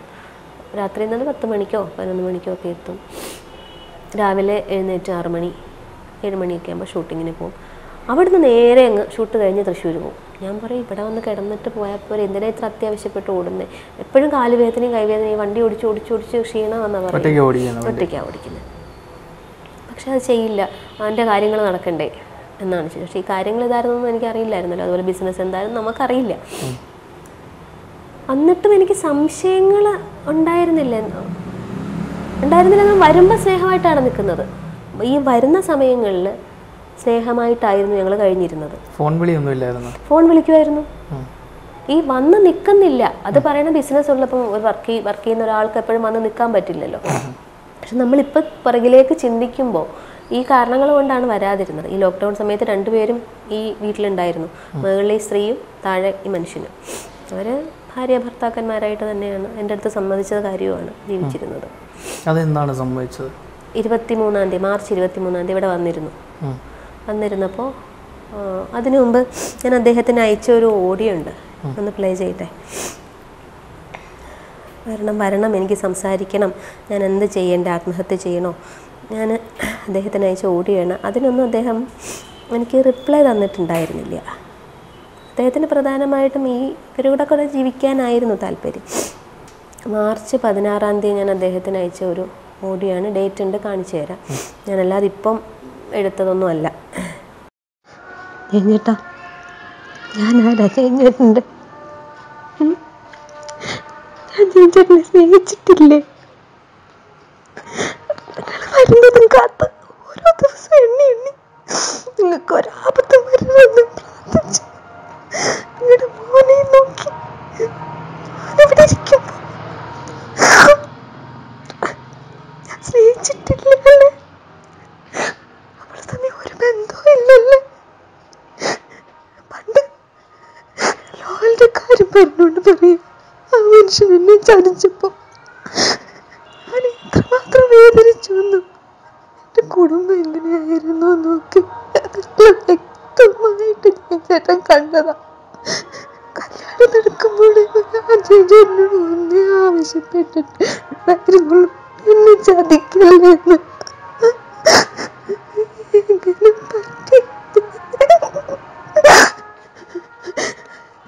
കാര്യം ഞാൻ പറഞ്ഞോട്ടെ?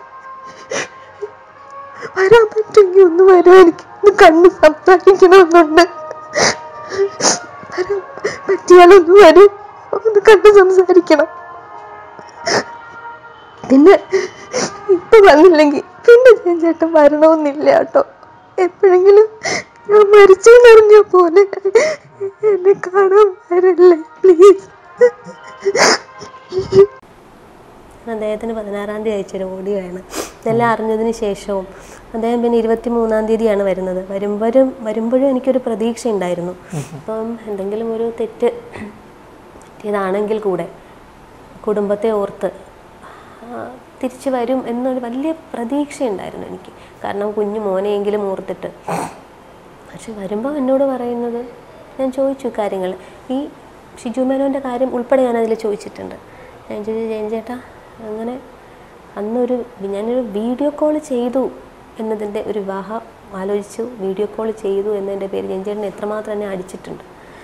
ഇങ്ങനെ ഒരു കാര്യം വിവാഹശേഷം ജയഞ്ചേട്ടൻ ചേട്ടൻ ചെയ്തു എന്നറിയുമ്പോൾ ഞാൻ എന്താ ചെയ്യണ്ടേ? നീ എന്നെ അടിക്കേ. വാ അടിച്ചോ. എന്നോട് പറഞ്ഞതാ ജയഞ്ചേട്ടനായിരുന്ന ഈ സ്ഥാനത്തെങ്കിൽ ജയഞ്ചേട്ടൻ എന്ത് ചെയ്യും? ഞാൻ നിന്നെ കളഞ്ഞിട്ട്? വിഷമമൊന്നും ഇല്ലയോ? എനിക്കൊരു വിഷമമില്ല ഞാനാ നീ കളഞ്ഞിട്ട് പോകും പിന്നീട് കുറേ കുറേ സമയം ഞങ്ങളിരുന്ന് സംസാരിച്ചു. അപ്പോൾ ഒക്കെ എല്ലാം പുള്ളി നിഷേധിക്കുകയാണ്. അദ്ദേഹം പറയുന്ന കാരണങ്ങൾ ഞാൻ പല്ല് തേക്കില്ല പറയാൻ കൊള്ളില്ല കുളിക്കില്ല വൃത്തിയില്ല. അങ്ങനെയൊക്കെയുള്ള കൂത്താട്ടക്കാരിയാണ് എന്നൊക്കെയാണ്. അതിനുശേഷം ഞാൻ ഈ ഏപ്രിൽ പതിനൊന്നാം തീയതി ഞാൻ അദ്ദേഹത്തെ വിളിച്ചു. എന്തെങ്കിലും മാറ്റം ഉണ്ടായിട്ടുണ്ടോ? മനസ്സിന് എന്നറിയാനായിട്ട്. അപ്പോൾ എന്നോട് സംസാരിച്ചത് ഞാനൊന്ന് കേൾപ്പിക്കാം. നിങ്ങൾ ദയവ് ചെയ്ത് ബീപ്പ് സൗണ്ട് ഒന്നും ഇടല്ല ഇത് മൊത്തം ഒന്ന് കേൾപ്പിക്കണം. കാരണം ഇത് ഒരു ഫാമിലി ആയിട്ടിരുന്ന് കേൾക്കാൻ പറ്റുമെന്ന് എനിക്കറിയില്ല. ഞാൻ ആക്ഷ ആരെ ആക്ഷേപിക്കാനല്ല. ഞാൻ കടന്നു പോയിക്കൊണ്ടിരിക്കുന്ന കാര്യങ്ങൾ കാരണം ഇത്രയും വൃത്തികേടുകളാണ് എന്നെ പറഞ്ഞുകൊണ്ടിരിക്കുന്നത്. അതൊന്ന് എന്താണെന്നൊന്ന് കേൾപ്പിക്കുന്ന മാത്രം. ഹലോ ആ പറഞ്ഞോ. റെക്കോർഡിംഗ് ആണല്ലോ. റെക്കോർഡിംഗ് ആയിട്ട് കേൾപ്പിക്കണ്ടേ എന്തോ? അതെ റെക്കോർഡ് ചെയ്തോണ്ടിരിക്കല്ലേ ഇന്ന്. നിങ്ങൾ റെക്കോർഡ് ചെയ്യും. ഞാനിപ്പം ജയഞ്ചേട്ടനെ വിളിച്ചത് അങ്ങോട്ടേക്ക് വരാൻ വേണ്ടിയാണ്. ഇപ്പൊ ആരെ വിളിപ്പിക്കാൻ പറയുന്നേ? ആരെ? ഞാൻ എന്റെ കാരണത്തിരിക്കുക എനിക്ക് ആരും കേൾപ്പിക്കാൻ നിന്റെ സ്വഭാവം എനിക്കില്ലടി. നിന്റെ സ്വഭാവം എനിക്കില്ല. നിന്റെ ഒരു കൂട്ടി സ്വഭാവം എനിക്കില്ല. പറഞ്ഞ എന്നെ നിന്റെ കൺമുമ്പ് എന്റെ കാണേണ്ട ആവശ്യം നീ പോയി നീ സിംപിളോട് സംസാരിക്കടി. നീ ആരെ സംസാരിക്കാൻ? നിന്റെ കാരണക്ക് പോടി. തൃശ്ശൂർ ഫോൺ പൊടി. എനിക്കൊരു തെറ്റ്- പറ്റി എന്നുള്ളത് കൃത്യമായി നിന്നോട് പറഞ്ഞു. അതിനുശേഷം നീ എന്നെ ദ്രോഹിച്ചു നീ ഇവിടെ വരുന്നോ? നീ വന്നോ? തൃശ്ശൂരിന്റെ എന്റെ അച്ഛൻ സ്ഥലമല്ല. നീ വന്ന് അവനോടൊപ്പം താമസിക്ക്. എന്റെ കൂടെ താമസിക്കാൻ നിൽക്കണ്ട നീ. കാരണം ഇപ്പൊ നീ കാരണം ഞാൻ തകർ നീ എന്ത് പറഞ്ഞത്? ഞാൻ അറിയില്ലെന്ന് വെച്ചോ ആ കിളവനോട് നീ പറഞ്ഞെന്ത് വരുന്നത്? ആ വീട്ടിൽ ഇറക്കാം അല്ലടി നീ. നാണം കെട്ടവളെ. ഇറങ്ങാൻ പറഞ്ഞെങ്കിൽ അവരുടെ മകളുമായിട്ട് പരിപാടിക്ക് നീയാണ് എനിക്ക്? ഞാനല്ലല്ലോ ഞാൻ നിനക്ക് എന്റെ നിനക്ക് ഞാൻ മിണ്ടാതിരിക്കുക. എന്റെ ഉള്ളിൽ ക്രിമിനലുണ്ട്. നീ പുറത്ത് കാണിക്കില്ല എന്നെ കൊണ്ട്. തീർത്ത് ഞാൻ. ഞാൻ പറഞ്ഞേക്കാം. നീ ഉണ്ടല്ലോ തെണ്ട് തിരിഞ്ഞോണ്ടിരിക്കുക. നീ വന്നപ്പോ നിന്റെ അച്ഛന്റെ ഒരു വണ്ടി കൊടുത്ത വണ്ടിക്ക് നാൽപ്പത്തി അയ്യായിരം രൂപയ്ക്ക് എടുത്തപ്പോ പറഞ്ഞ മനസ്സിലാക്കാം. എന്റെ നിനക്ക് വേണ്ടിയില്ല നീ തൃശ്ശൂർ എന്നെ തുറക്കാൻ വരില്ലടി. നാണം കെട്ടവനെ. നിനക്ക് കാണിക്കപ്പെടി കൊല്ലാൻ വേണ്ടി നാണം കെട്ട് നാണം കെട്ടി ഒറ്റപ്പെടുത്തി നാട് മൊത്തം കടവും കയറ്റി വന്നിരിക്കുന്നവൾ. നീ എന്ത് പറഞ്ഞത്? ഞാൻ നീ പറയുന്ന നീ നിന്നെ? നിന്നോട് അന്ന് ഞാൻ പറഞ്ഞു. നിന്നോട് അന്ന് ഞാൻ പറഞ്ഞു. നീ പറയുന്ന ഓരോ കാര്യങ്ങളും അവരത് പോയിന്റ് പണിയറ നിൽക്കായിരുന്നു അവർ കമ്മീഷൻ ഓഫീസിന്റെ പരാതി കൊടുത്തപ്പോൾ നീ പറഞ്ഞു കൊടുത്ത നീ കൊടുത്ത സാധനങ്ങൾ വരെ അവർ പേപ്പറാക്കി കൊണ്ടുവന്നിരിക്കരുത് അറിയോ? എനിക്ക് നീ എന്ത് എനിക്ക് നീ എന്താ കാര്യത്തിൽ എനിക്ക് ബന്ധമില്ലല്ലോ. എടി എനിക്കുള്ള പോലീസ് ഒന്നും നിനക്കറിയാൻ പറ്റും. എനിക്ക് എനിക്ക് നിസ്സാര സമയം എനിക്ക് ഇത് മനസ്സിലായില്ലേ? പക്ഷെ എനിക്ക് പണിയിട്ടെന്ന് അറിയോ ചില ആൾക്കാർ വിശ്വസിച്ചു പോയി. അത് എനിക്ക് പണി കിട്ടി. കുഴപ്പമില്ല. അത് അവരുടെ കാര്യം. അത് അവർ അത് ജീവിക്കട്ടെ. പക്ഷെ എന്റെ പുറമെ നീ വരുന്നവരല്ലേ അത് ഞാൻ ഞാൻ ചാകണം. ഞാൻ ചാകണം. ഞാൻ ചത്താ പോലും എന്റെ ജഡം പോലും നീ കാണത്തില്ല. അത്ര എന്റെ സുഹൃത്തുക്കൾ പറഞ്ഞു ഞാൻ എന്റെ ജഡം പോലെ ആ സ്ത്രീയെ കാണിക്കരുത്. നീ അത്ര നടി തന്നെ ഈ പതിനെട്ട് ദിവസം കൊണ്ട് ഞാൻ അറിഞ്ഞ പല കാര്യമുണ്ട്. നീ പറഞ്ഞ? നീ ഒന്നും ഉണ്ടാക്കിയിട്ടില്ല. നീ ഒന്നര പൊക്കുള്ള വിഷമേ. നീ എനിക്കിട്ട് പണിയെന്നത് ഞാൻ അറിഞ്ഞില്ല വെച്ചോടി നീ ഇറക്കാൻ വേണ്ടി പറഞ്ഞത് ആ തള്ളയോട് പറഞ്ഞ് അറിയില്ല വെച്ചു ആന്റി അയാൾ ഇറക്കാൻ ഇറക്കാന്റി. ഇതൊക്കെ റെക്കോർഡേ കേൾക്കുന്നുണ്ട് ഞാൻ. എന്നെ എന്നെയും കൂടെ ഒന്ന് അതൊന്ന്. ആ നീ പണ്ട് ലോവലിലെ കേസ് കുടിക്കുമല്ലേ എനിക്ക് ഞാൻ- എനിക്ക് ഇവിടെ ഞാൻ ആവശ്യമില്ല. നീ ലോ ഞാൻ പറയൂടി. ഞാൻ പറയും. ലോവലയുടെ വിളിച്ച് സംസാരിച്ചിരിക്കുക ആ എന്നാ നീ വിളിക്കടി. നീ നീ പറഞ്ഞ. അങ്ങനെ കുറെ ഈ രീതിയിലാണ് ഭാഷകൾ ഞാൻ ലാസ്റ്റ് അദ്ദേഹത്തെ വിളിച്ച് വിളിച്ചാൽ എടുക്കില്ല? ബ്ലോക്ക് ചെയ്തിരിക്കുകയാണല്ലോ. ഇടയ്ക്ക് അയച്ചതാണ്. അപ്പോൾ ഇങ്ങനെയൊക്കെ പറയുന്ന ഒരാളെ നമ്മൾ എന്ത് എന്താ എന്താ ചെയ്യണ്ടേ? എന്ത് ചെയ്യണം? ഞാൻ പിന്നെ ഒരു കാര്യങ്ങൾ അറിഞ്ഞു എന്ന് ക്ഷമിക്കാമെന്ന് തയ്യാറാവുമ്പോഴും നമ്മൾ വിഷമങ്ങൾ പറഞ്ഞു വിളിക്കുമ്പോഴും നിന്നെ എനിക്ക് വേണ്ട. എന്നെ അറപ്പാണ് വെറുപ്പാണ്.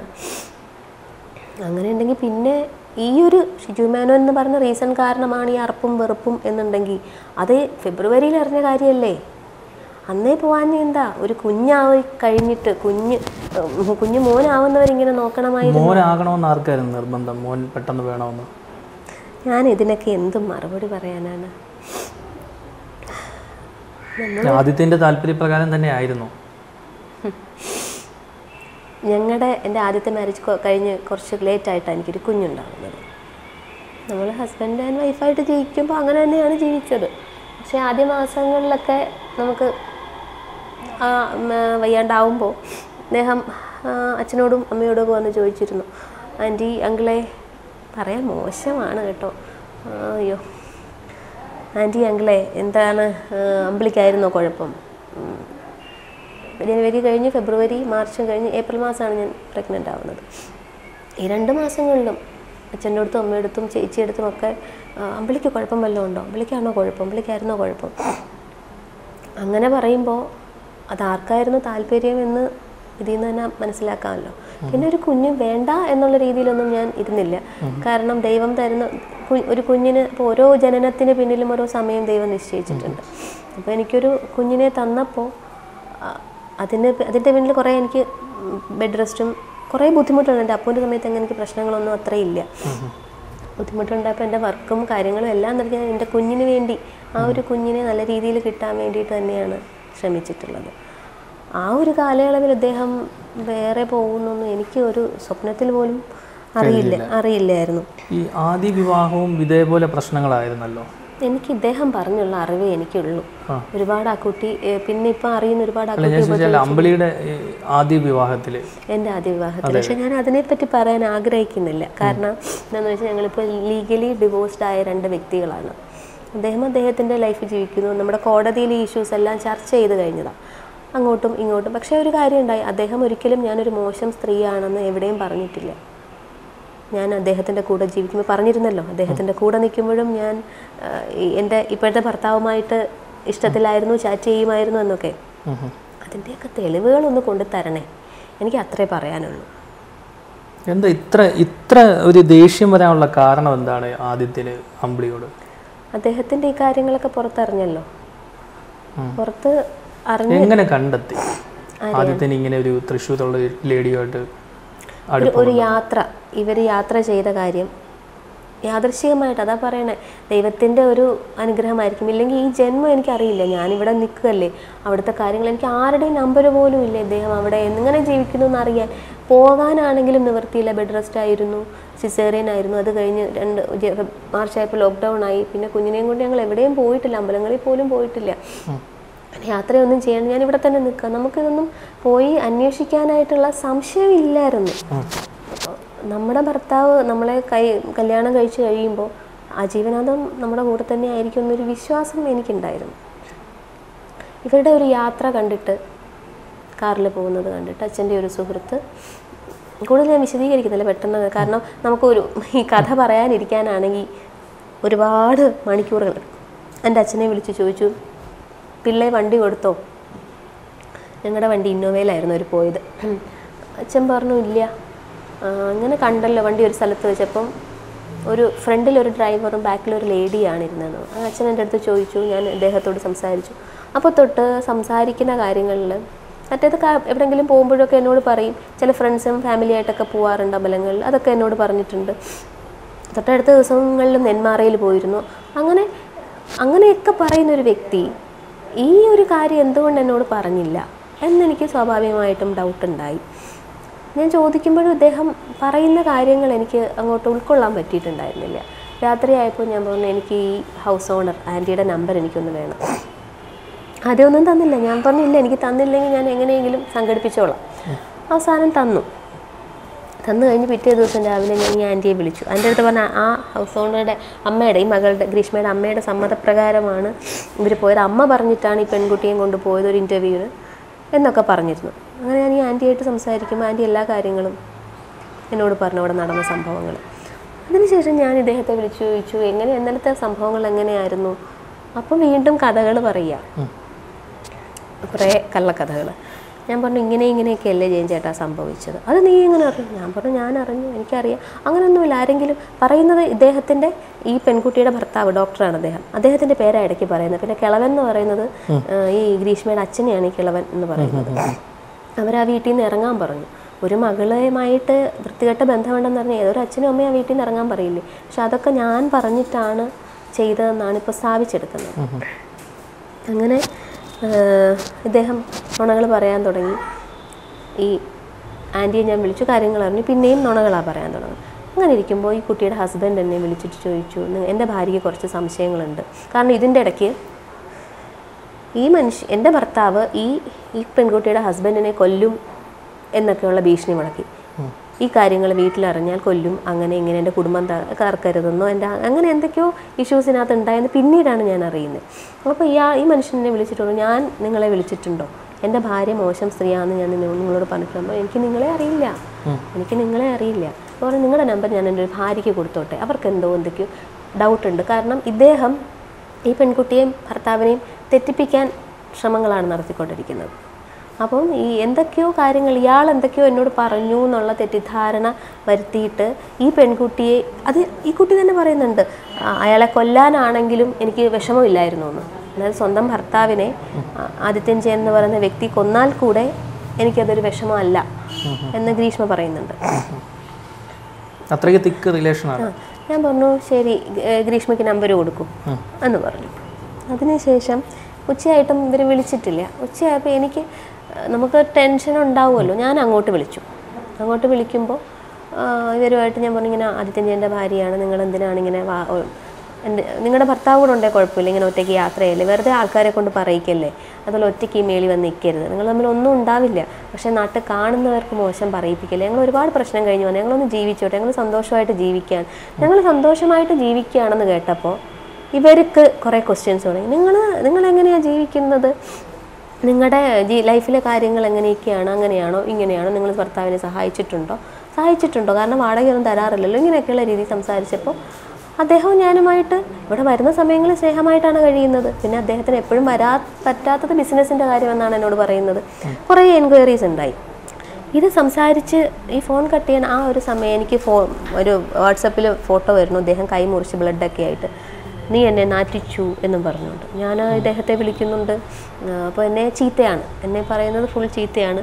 എനിക്ക് ആരെയും അറിയില്ല അവിടുത്തെ. ഞാൻ പെട്ടെന്ന് അദ്ദേഹത്തിന്റെ ഒരു ഫ്രണ്ടിനെ വിളിച്ചു. ഫ്രണ്ടുമായിട്ട് ഇപ്പോൾ പരിചയമില്ല വിനോദേട്ടനെ അപ്പം അദ്ദേഹം ചാലക്കുടിയിലാന്ന് പറഞ്ഞു. പെട്ടെന്ന് ഞാൻ ഗ്രീഷ്മയെ തന്നെയാണ് വിളിക്കുന്നത് അപ്പോഴും എനിക്ക് അറിയില്ല. ഈ ഒരു ഗാഠമാ ഗാഠമായ ബന്ധമാണെന്ന് എനിക്ക് അപ്പോഴും അറിയില്ല. ഗ്രീഷ്മയെ വിളിച്ചപ്പോൾ നിങ്ങളൊന്ന് ഹെൽപ്പ് ചെയ്യൂ. നിങ്ങൾ എവിടെയാണൊന്ന് പോയി അദ്ദേഹം കൈമുറിക്കുകയാണ് ഒന്ന് ചെന്ന് ഒന്ന് ഹെൽപ്പ് ചെയ്യുമോ ആ, വേറെ ആരുമില്ല എനിക്ക് പറയാൻ എന്ന് പറഞ്ഞപ്പോൾ ഞാൻ പുറത്തത് ഇപ്പം ചെല്ലാമെന്ന് പറഞ്ഞ ആൾ രണ്ട് സെക്കൻഡിൽ ഇങ്ങ് എത്തി. കാരണം ഇവർ ഇവർ രണ്ടുപേരും കൂടി ഇരിക്കുമ്പോഴാണ് ഞാൻ ഈ ഫോൺ ചെയ്യുന്നതും ഈ ഫോൺ സ്പീക്കറിലായിരുന്നു ഞാൻ പറയുന്ന കാര്യങ്ങൾ കേട്ടപ്പോൾ ഗ്രീഷ്മയ്ക്ക് ഗ്രീഷ്മയോട് പറഞ്ഞ കാര്യങ്ങളല്ല ഞാൻ പറയുന്നത്. കാരണം എന്നോട് കാണിച്ചിട്ടുള്ള കാര്യങ്ങൾ ഞാൻ പറയുമ്പോൾ വേറൊരു പിക്ചറാണ് ഗ്രീഷ്മയ്ക്ക് കൊടുത്തിരിക്കുന്നത്. ഞാനുമായിട്ട് ഒരു റിലേഷനും ഇല്ല. ഒരു ബന്ധങ്ങളും ഇല്ല. ഞാനൊരു ഇപ്പം ഇപ്പറഞ്ഞ പറഞ്ഞ മാതിരി മോശപ്പെട്ട സ്ത്രീ ആണ് എന്നൊക്കെയുള്ള എന്തൊക്കെയോ ഇമേജുകളും ഞങ്ങൾ തമ്മിൽ ഒരു ബന്ധവും പിന്നീട് ഉണ്ടായിട്ടില്ല എന്നൊക്കെയുള്ള രീതിയിലും ഞങ്ങൾ ഒരു സഹായങ്ങളും ചെയ്തിട്ടില്ല. ഞങ്ങളെന്ന് വെച്ചാൽ അത്ര ക്രൂരയായ ഒരു ഭാര്യ എന്നുള്ളൊരു ഇമേജ് ആയിരുന്നു ഈ കുട്ടിക്ക് കൊടുത്തിരുന്നത്. ഈ കുട്ടി എല്ലാം കേട്ട് കഴിഞ്ഞപ്പോൾ ഇദ്ദേഹത്തോട് പറഞ്ഞു ഇത്രയും ലോക ഫ്രോഡിനെ ഞാൻ നിങ്ങൾ ഇത്ര ഫ്രോഡ് ഫ്രോഡാണോ? ഇതൊക്കെ ഗ്രീഷ്മ തന്നെയാട്ടോ പിന്നീട് പറയുന്നത്. ഈ സമയത്തൊന്നും എനിക്കറിയില്ല. ഇവർ രണ്ടും ഒരുമിച്ചുണ്ടായിരുന്നു. ഇതൊക്കെ ഞാൻ നീ പറഞ്ഞൊക്കെ ഞാൻ കേട്ടു എന്ന് പറഞ്ഞത് എന്റെ ഭർത്താവ് തന്നെയാണ് കൈമുറിക്കുന്നു. ഈ കൈമുറിക്കൽ ഇദ്ദേഹം വരുന്നില്ല. ഞാൻ ഗ്രീഷ്മയെ വിളിക്കുന്നുണ്ട് ഇദ്ദേഹത്തെ വിളിക്കുന്നുണ്ട്. അവസാനം എനിക്ക് പോലീസ് സ്റ്റേഷനിൽ വിളിക്കേണ്ടി വന്നു. കാരണം അവസാനമൊക്കെ വിളിക്കുമ്പോൾ അയ്യോ ഞാനിപ്പോൾ ചാവോ. നീ അങ്ങനെ കുഴഞ്ഞു കുഴഞ്ഞു കുഴഞ്ഞുള്ള സംസാരങ്ങളും കാര്യങ്ങളൊക്കെയാണ്. ഞാൻ പറഞ്ഞു നിങ്ങൾ പോയില്ലേ? എനിക്ക് പോലീസ് സ്റ്റേഷനിൽ വിളിക്കാൻ നിവർത്തിയില്ല കാരണം ജീവൻ ജീവൻ പോയാൽ എന്ത് എന്തെങ്കിലും പറ്റിപ്പോയാൽ എന്ത് എന്ത് ചെയ്യും? തർക്കിച്ചുകൊണ്ട് നിൽക്കാതെ ഹോസ്പിറ്റലിൽ പോകും അപ്പോൾ അവരുടെ എന്തോ ഒരു ഓട്ടോക്കാരൻ വന്നു. അയാൾ വിളിച്ചിട്ടും വന്നില്ല. എന്നൊക്കെയാണ് പറഞ്ഞുകൊണ്ടിരുന്നത്. അവസാനം ഞാൻ നമ്മുടെ ചവറയിലെ ഒരു സാറിനെ പോലീസ് അദ്ദേഹത്തെ വിളിച്ചിട്ട് അവിടുത്തെ അയ്യന്തോളിലെയും സി ഐയുടെയും നമ്പർ വാങ്ങി ഞാൻ വിളിച്ചു. ഞാൻ പറഞ്ഞു ഇങ്ങനെ അദ്ദേഹം കൈമുറിച്ചിരിക്കുകയാണ്. റീസൺ ഒന്നും നമുക്ക് പറയാൻ സമയമില്ല. എന്തോ കുടുംബ പ്രശ്നങ്ങളാണ്. അവിടെ എന്താണ് സംഭവം എന്ന് എനിക്കറിയില്ല. ഒന്ന് ഒന്ന് പോയി ഒന്ന് ഹെൽപ്പ് ചെയ്യണം അദ്ദേഹത്തെ ഒന്ന് ഹോസ്പിറ്റലിലേക്ക് കൊണ്ടുപോയി ബോധം കെട്ടുപോയി ആരുമില്ല ഹെൽപ്പ് ചെയ്യാൻ. പോലീസ് സ്റ്റേഷനിൽ നിന്ന് കോൾ വന്നു കഴിഞ്ഞപ്പോഴേക്കും ഇവർ പറഞ്ഞു ഇത്രയും വയ്യാതിരുന്ന ആൾ ഡ്രൈവ് ചെയ്തു. വണ്ടി എടുത്തു.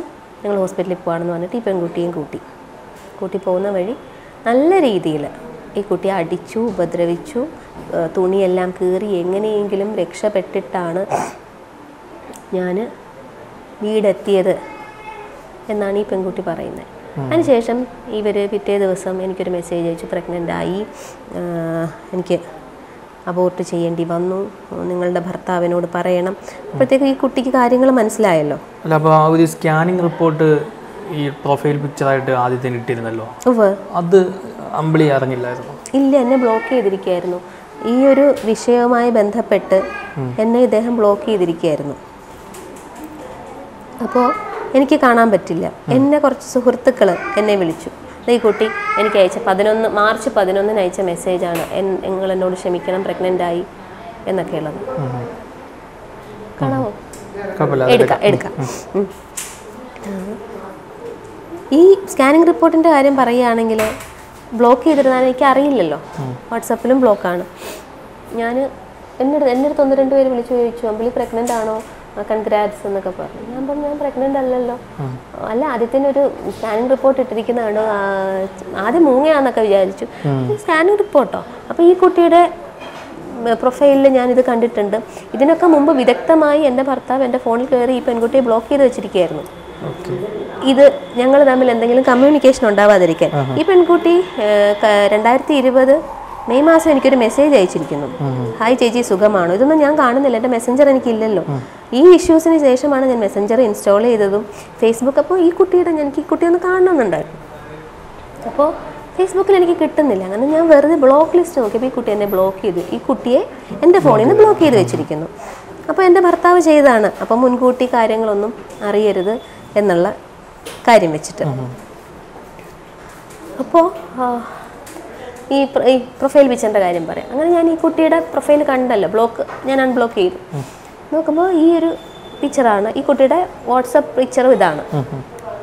അപ്പം സ്വാഭാവികമായിട്ട് നമ്മൾ സംശയിക്കുന്ന കാര്യമില്ല. പക്ഷേ ഈ ഇങ്ങനെ ഒരു കോൾ വന്നതിന് ശേഷം നിങ്ങൾ ഗർഭിണിയാണോ എന്നൊക്കെയുള്ള ഒരു കോൾ വന്നതിന് ശേഷം ഞാൻ നോക്കുമ്പോൾ എന്റെ എന്റെ ഭർത്താവ് ഇടയ്ക്കൊന്ന് അതാണ് ദൈവത്തിന്റെ ഒരു കളിയെന്ന് അൺബ്ലോക്ക് ചെയ്ത് എനിക്കൊരു മെസ്സേജ് ടൈപ്പ് ചെയ്തുകൊണ്ടിരുന്നപ്പോൾ ഞാൻ ആ സമയം ഓൺലൈനിലുണ്ടായിരുന്നു ആ സമയം ഞാൻ കണ്ടു അദ്ദേഹത്തിന്റെയും പ്രൊഫൈൽ പിക്ചർ ഈ സെയിം ആണ്. എന്റെ ഒരു ഫ്രണ്ട് ഇവിടെ എന്റെ ബന്ധുവാണ് അദ്ദേഹം വന്നപ്പോൾ അദ്ദേഹത്തിന്റെ ഫേസ്ബുക്കിൽ കൂടെ ഞാൻ കയറി നോക്കിയപ്പോൾ അദ്ദേഹത്തിന്റെ കവർ ഫോട്ടോയും ഇവർ പറഞ്ഞ സത്യമാണ്. അപ്പം വേറൊരാളുടെ കുഞ്ഞാണെന്നുണ്ടെങ്കിൽ എന്തിന് എന്റെ ഭർത്താവ് ഇത് ഡി പി ആക്കിയിടുകയും കവർ ഫോട്ടോ ആക്കിയിടുകയും ചെയ്യണം? അപ്പോൾ അതിൽ ആ ബന്ധത്തിൽ എന്തെങ്കിലും ഉണ്ടായിട്ടല്ലേ? ഇതിന്റെ ഇടയ്ക്ക് ജനുവരി എട്ടാം തീയതി ഇദ്ദേഹം കുറേ ഗുളികയൊക്കെ വാരി കഴിച്ച് ഒരു ആത്മഹത്യാശ്രമമൊക്കെ നടത്തിയിരുന്നു.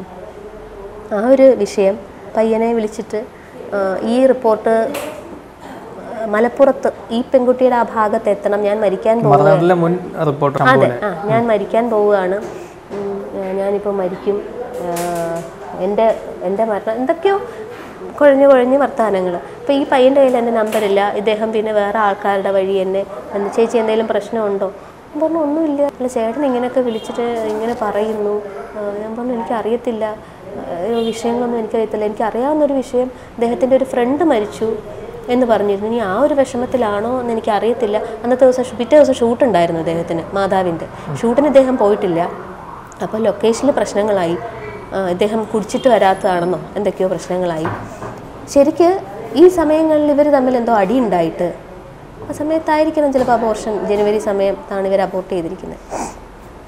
വിഷയങ്ങൾ വിഷയങ്ങളുണ്ടായിട്ട്. ആ ഇതിന്റെ പേരിലാണ് അദ്ദേഹത്തിന്റെ ഫേസ്ബുക്കിൽ ഇപ്പോഴും ഉണ്ടാവും. എനിക്ക് പ്രിയപ്പെട്ട ഒരാൾ പോയിട്ട് പതിനാറ് ദിവസം. പിന്നെ ഒരു ഡോളിന്റെ ഒരു പിക്ചർ അങ്ങനെയൊക്കെ കുറേ കാര്യങ്ങൾ ഒക്കെ അദ്ദേഹം ഇട്ടിരുന്നു. ഇദ്ദേഹം ഈ ഒരു പ്രഗ്നൻസിയുമായി ബന്ധപ്പെട്ടിട്ടാണ് ഫേസ്ബുക്കിൽ ഇനി റിമൂവ് ചെയ്തിട്ടുണ്ടോ എന്നറിയില്ല പക്ഷേ എന്റെ കയ്യിലുണ്ട് കേട്ടോ. റിമൂവ് ചെയ്താലും എന്റെ കയ്യിൽ ഞാൻ എടുത്തു വെച്ചിട്ടുണ്ട്. സ്ക്രീൻഷോട്ട് ഉണ്ട്. കാരണം അന്നത്തെ ദിവസം ഞാൻ എന്റെ ഫ്രണ്ട് വന്നപ്പോൾ ഫ്രണ്ടല്ല ബന്ധുവും കൂടിയാണ്.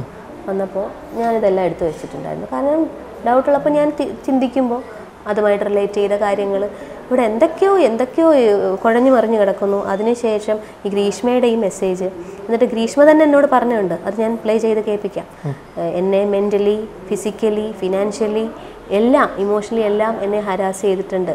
നിങ്ങളുടെ ഭർത്താവിനെ എപ്പോഴെങ്കിലും കാണുകയാണെങ്കിൽ ഒന്ന് പറയണം. ഏത് ഗംഗയിൽ പോയി മുങ്ങിയാലും ഇതിന്റെ പാപമൊന്നും തീരില്ല എന്ന് പറയണം എന്ന് പറഞ്ഞ ഓടിയുണ്ട്. ഉണ്ട് അത് ഈ കൈമുറിച്ച ദിവസം സംഭവിച്ചതാണ്. ഞാൻ പറഞ്ഞ കാര്യങ്ങൾ കേട്ടപ്പോൾ അവർക്ക് മനസ്സിലായി അവരെയും ചീറ്റ് ചെയ്തതാണ്. പക്ഷേ എന്ത് പറയാനാണ്? ഇദ്ദേഹത്തിന് ഈ സ്ത്രീയെ വിട്ടുപോകാൻ താല്പര്യമില്ലാത്തതുകൊണ്ടായിരിക്കാം ഇദ്ദേഹം ഈ പെൺകുട്ടിയുടെ പേരൻസ് പറഞ്ഞിരിക്കുന്നത് ഈ പെൺകുട്ടിയുടെ ഒരുപാട് സ്വർണം. പോയിട്ടുണ്ട്. ഒരുപാട് ഈ പെൺകുട്ടി ഹെൽപ്പ് ചെയ്തിട്ടുണ്ട്. ഈ കൈമുറിച്ച ദിവസം ഈ പെൺകുട്ടി ഇത്രയും ഉപദ്രവിച്ചപ്പോൾ ഇവർ കേസ് കൊടുക്കാൻ പോയി. ഇദ്ദേഹത്തിനെതിരെ ചീറ്റിങ്ങിന് പക്ഷേ ഈ പെൺകുട്ടിയുടെ ഹസ്ബൻഡ് അയ്യോ വേണ്ട പ്രശ്നങ്ങളൊന്നും ചെയ് ഉണ്ടാക്കണ്ട നീ ഇങ്ങനെ മാഹിക്ക് പോരെ എന്ന് പറഞ്ഞ് വിളിച്ചുകൊണ്ട് പോരുമായിരുന്നു കാരണം ഭർത്താവ് പറഞ്ഞില്ലേ ഈ- പ്രഗ്നന്റ് ആയ കാര്യം അദ്ദേഹം പറഞ്ഞായിരുന്നു. അദ്ദേഹത്തിന്റെ കൂടെ താമസിച്ചുകൊണ്ടിരിക്കുകയല്ലേ ഇപ്പം ഈ അവർ അസിസ്റ്റന്റ് പ്രൊഫസറാണ് മാഹിയിൽ വർക്ക് ചെയ്യാണ്. പിന്നെ ഈ ലോക്ക്ഡൗൺ ഒക്കെ കഴിഞ്ഞതിന് ശേഷം ഇവർ വീക്കെൻഡ്സിലാണ് ഇവിടെ വന്ന് നിൽക്കുക. വീക്കെൻഡ്സ് ആകുമ്പം വന്ന് നിൽക്കും. സ്വന്തം വീടാണല്ലോ മേളി വന്ന് നിൽക്കും. ഇദ്ദേഹം അവിടെ തന്നെ ഉണ്ടാവുമല്ലോ. പിന്നെ ഇവർക്ക് പോകണം എന്ന് വിചാരിച്ചാൽ എങ്ങനെ പോവാൻ മീറ്റ് ചെയ്യാൻ കാണാമൊക്കെ ചെയ്യാമല്ലോ. പ്രഗ്നന്റ് ആകുമ്പം ആ ഭർത്താവിന് സംശയം ഉണ്ടായിട്ടുണ്ടാവില്ല. സ്വന്തം കുഞ്ഞാണെന്ന് തന്നെ വിചാരിച്ചിട്ടുണ്ടാവും. ഇവർ തമ്മിൽ എന്തോ തർക്കങ്ങൾ ഉണ്ടായി ഒന്നുകളിലൊക്കെ ഉണ്ടാവുകയും അങ്ങനെ എന്തൊക്കെയോ പ്രശ്നങ്ങൾ ഉണ്ടായി. അങ്ങനെയാണ് പിന്നെ എന്റെ ഭർത്താവിന് ഡൗട്ട് ഉണ്ടായി ഇത്. കഥകൾ ഇത് എന്റെ തന്നെയാണോ? ആണോ അയാളുടെ ആണോ ഡൗട്ട് ഡൗട്ടായില്ല അപ്പോൾ ഇവൾ പറഞ്ഞു ഒന്ന്. ഇത് വേണ്ട. അങ്ങനെ ഭർത്താവ് തന്നെ ഭർത്താവിന് പക്ഷെ അപ്പം അറിയില്ലായിരുന്നു. ചെയ്തു. അബോർട്ട് ചെയ്തു. അബോർട്ട് ചെയ്തു. പക്ഷെ ഭർത്താവ് പറഞ്ഞൊരു കാര്യമുണ്ട്. ഞാനിത് അദ്ദേഹം ഒരു ഡോക്ടറാണ്. സ്കാനിങ്ങിന് ചെന്നപ്പോൾ അവർ തമ്മിൽ ഒന്നിച്ചുണ്ടായ ദിവസം എന്നാണെന്ന് അവർക്കറിയാം. പക്ഷേ ഈ കുഞ്ഞിന് അതിനേക്കാൾ വലിപ്പമുണ്ടായിരുന്നു. അപ്പോൾ അദ്ദേഹത്തിന് ഒരു പക്ഷെ സന്തോഷവും തോന്നിയെന്ന്. കാരണം ഇനി നാളെ അപ്പോൾ തൊട്ടാണ് ഈ ഹസ്ബൻഡിന് ഡൗട്ട് തുടങ്ങുന്നത്. അതുവരെ ഹസ്ബൻഡിന് സംശയങ്ങൾ ഉണ്ടായിരുന്നു ഒപ്പം അയാൾക്കൊരു പ്രശ്നമല്ലായിരുന്നു. പോകുന്ന അറിഞ്ഞിരുന്നിട്ടുണ്ടാവില്ല. അറിഞ്ഞിരുന്നിട്ടുണ്ടാവില്ല. വീട്ടിൽ വന്ന് നിൽക്കുകയല്ലേ. അപ്പം അതിൽ ഇങ്ങനെ ഒരു ബന്ധം ചിലപ്പം അറിഞ്ഞിട്ടുണ്ടാവില്ല. എന്റെ ഞാനിത് നോക്കുമ്പോൾ വേറൊരു ഒരാളുടെ പ്രൊഫ കവർ ഫോട്ടോ എന്റെ ഭർത്താവ് ഇടേണ്ട ആവശ്യമില്ലല്ലോ. അതുകൊണ്ട് അപ്പോൾ എനിക്കും സ്വാഭാവികമായിട്ട് ഈ പറയുന്നതിലൊക്കെ എന്തൊക്കെയോ എല്ലാം കണക്ട് ചെയ്ത് നോക്കുമ്പോൾ ഇതൊക്കെ പബ്ലിക്കായിട്ട് ഇട്ട കാര്യമാണ് ഞാൻ സൃഷ്ടിച്ചതല്ല. സ്ക്രീൻഷോട്ടുകളൊക്കെ ഫേസ്ബുക്കിലൊക്കെ വ്യാപകമായിട്ടുണ്ട്. അപ്പോൾ ഇതൊക്കെ അവർ തന്നെ ചെയ്ത കാര്യങ്ങളാണ് രണ്ടുപേരും പബ്ലിക്കായിട്ട് ഇട്ടു. രണ്ടുപേരും വാട്സപ്പിൽ ഇട്ടു. ഇതിൽ ഞാൻ എന്ത് തെറ്റ് ചെയ്തെന്നാണ് എനിക്ക് മനസ്സിലാവുന്നില്ല. രണ്ടുപേരും എന്നോട് സമ്മതിച്ചു. രണ്ടുപേരും ഗ്രീഷ്മയാണെങ്കിലും എന്റെ ഭർത്താവാണെങ്കിലും രണ്ടുപേരും എന്നോട് ഇപ്പം വേറൊരാൾക്ക് ഗർഭം അത് എന്റെ കുഞ്ഞാണെന്ന് ആരെങ്കിലും പറയൂ? എന്ത് വാശിപ്പുറത്ത് ഇദ്ദേഹം വാശിപ്പുറത്ത് പറഞ്ഞു. എന്ന് പറഞ്ഞു. അങ്ങനെ ഏതെങ്കിലും ഒരു പുരുഷൻ പറയൂ? ഒരിക്കലും അദ്ദേഹം തന്നെ പറഞ്ഞു എന്ന് അദ്ദേഹം സമ്മതിക്കുന്നുണ്ട്. അപ്പൊ ഞാൻ ചോദിക്കുകയാണ് ആൾക്ക് അവൾക്ക് ഗർഭം ഉണ്ടാക്കി അത് എന്റെ കുഞ്ഞാണ് എന്ന് എനിക്കറിയില്ല. പൂർണ വിശ്വാസമുള്ള അങ്ങനെയാണ് ഈ സംഭവം അറിയുന്നത്. അറിഞ്ഞു. തലവേദന എടുക്കുന്നു അപ്പോൾ ഇത് ഈ ആദ്യത്തിനോട് എന്താ തോന്നിയത്? ഈ സംഭവം അറിഞ്ഞപ്പോൾ സംഭവം അറിഞ്ഞപ്പോൾ സത്യം പറഞ്ഞു ജീവിക്കണോ? മരിക്കണോ? ആത്മഹത്യ ചെയ്യണോ തോന്നിയോ? തീർച്ചയായും തോന്നിയിരുന്നു. തീർച്ചയായും തോന്നി. ഞാൻ ആ ഓഡിയോയിൽ പറയുന്നുണ്ടല്ലോ. എന്തിനാ ജീവിക്കണ്ടേ എന്നുള്ളൊരു ചിന്ത വന്നു. കാരണം നമ്മൾ ഇത്രയും വിശ്വസിച്ച ഒരാൾ ഇത്രയും കാലമായിട്ട് നമ്മളെ പറ്റിച്ചുകൊണ്ടിരിക്കുക നമുക്ക് വിദഗ്ധമായി അവിടെയും ഇവിടെയും ജീവിച്ചുകൊണ്ടിരിക്കുക. ഞാൻ ജയൻചേട്ടന്റെ അടുത്ത് വന്നപ്പോൾ ഞാൻ സംസാരിച്ചപ്പോൾ ഞാൻ ചോദിച്ചു ജയൻചേട്ടൻ എന്നെ വേണ്ടെങ്കിൽ അതങ്ങ് പറഞ്ഞിട്ട് പൊക്കൂടായിരുന്നു? ഇതിലെന്തോ അന്തസ്സായിരുന്നു. അവിടെ ഇവിടെയും കൂടെ താമസിക്കേണ്ട ആവശ്യമുണ്ടായിരുന്നു ആത്മാർത്ഥമായിട്ടാണ് അമ്പിളി സ്നേഹിച്ചത് തീർച്ചയായും. അപ്പം ആ ഒരു സമയത്ത് ഇയാളിങ്ങനെ കാണിച്ചപ്പോൾ കൊല്ലണമെന്ന് തോന്നിയോ? ഇല്ല. ഇല്ല. പക്ഷെ ആദ്യത്തിന് അങ്ങനെ തോന്നിയല്ലോ. അത് അദ്ദേഹത്തിന്റെ സ്നേഹം അത്രക്കേ ഉള്ളൂ. കൊല്ലും കൊല്ലും എന്ന് പല ഞാനും പല വോയിസ് ക്ലിപ്പുകൾ കേട്ടു. എന്നെ ഞാൻ വെച്ചേക്കില്ല കൊല്ലും. എന്റെ ക്രിമിനൽ സ്വഭാവം ഉന്നതരുമായിട്ട് ബന്ധമുണ്ട്. ഇപ്പം ഈ സ്നേഹം അതായത് നേരത്തെ കാണിച്ചത് കപട സ്നേഹമായിരുന്നു എന്ന് ഇപ്പം കരുതുന്നുണ്ടോ? തീർച്ചയായും. അല്ല ആത്മാർത്ഥമായിട്ട് സ്നേഹം ഉണ്ടായിരുന്നെങ്കിൽ ഒരിക്കലും ഭാര്യയോ കുഞ്ഞിനെയോ ഓർക്കാതെ ഇങ്ങനെ ഒരു ബന്ധത്തിൽ പോവില്ല ഒന്നാമത്തെ കാര്യം. അഥവാ എന്തെങ്കിലും അബദ്ധം പറ്റിയാണെങ്കിൽ കുടുംബം കളയില്ല. ജയൻ തന്നെ ഇൻഡസ്ട്രിയിലെ പലരുടെയും സ്റ്റോറി ഞാൻ പേര് പറയുന്നില്ല ആരുടെയും ആരെയും മോശക്കാരാക്കാൻ ശ്രമിക്കുന്നില്ല. ഒരുപാട് ആൾക്കാരുടെ സ്ത്രീയായിട്ടും പുരുഷനായിട്ടുമുള്ള ഒരുപാട് ആൾക്കാരുടെ ഇങ്ങനെയുള്ള റിലേഷനെ പറ്റി ഇനി സത്യമാണോ എന്ന് എനിക്കറിയില്ല. പറഞ്ഞിട്ടുണ്ട്. അപ്പോഴൊക്കെ ഇവരെ കുറ്റപ്പെടുത്തിക്കൊണ്ടാണ് സംസാരിക്കുന്നത്. അയാൾക്ക് അങ്ങനെ ചെയ്യേണ്ട ആവശ്യമില്ല അല്ലെങ്കിൽ അവർക്ക് അങ്ങനെ ചെയ്യേണ്ട ഒരു കുടുംബം നോക്കണ്ടേ കുഞ്ഞുങ്ങളെ ഓർക്കണ്ടേ? അതുപോലെ നമ്മുടെ ഉത്തരവാദ കേസായാലും കൊട്ടിയത്തിലെ റംസിയുടെ കേസായാലും യുദ്ധ ഇങ്ങനെയൊക്കെ മനുഷ്യരുണ്ടോ? എന്നൊക്കെ സംസാരിക്കുമ്പോൾ അങ്ങനെയൊന്നും അല്ലാത്തൊരു മനുഷ്യനല്ലേ ഇങ്ങനെയൊക്കെ സംസാരിക്കാൻ പറ്റുള്ളൂ. ഒരിക്കലും ഞാൻ ചിന്തിച്ചിട്ടില്ല. എവിടെയാ തെറ്റ് പറ്റിയത് അമ്പിളിക്ക്? തെറ്റാണല്ലോ. ഒരാളെ വിശ്വസിച്ചു. വിശ്വാസം നമ്മുടെ എന്റെ മുന്നിൽ നമ്മളൊരാളൊരു കാര്യം പറയുമ്പോൾ അത് കള്ളമാണ് എന്ന് മനസ്സിലാക്കാനുള്ള ബുദ്ധി എനിക്കില്ലാതെ പോയി. പറഞ്ഞ കാര്യങ്ങളെല്ലാം സത്യമായിരിക്കുമെന്ന് വിശ്വസിച്ചു പോയി. ആ സംസാരവും പെരുമാറ്റവും ഞാൻ പലപ്പോഴും പറഞ്ഞിട്ടുണ്ട്. അങ്ങനെ അത്തരത്തിലുള്ളൊരു പെരുമാറ്റമാണ് എന്റെ അടുത്ത് കല്യാണത്തിന് മുമ്പ് ഇത്രയും വർഷം കൊണ്ട് ഇൻഡസ്ട്രിയിലുള്ള ആളാണ്. മോശമായിട്ടൊന്നും പെരുമാറിയിട്ടില്ല.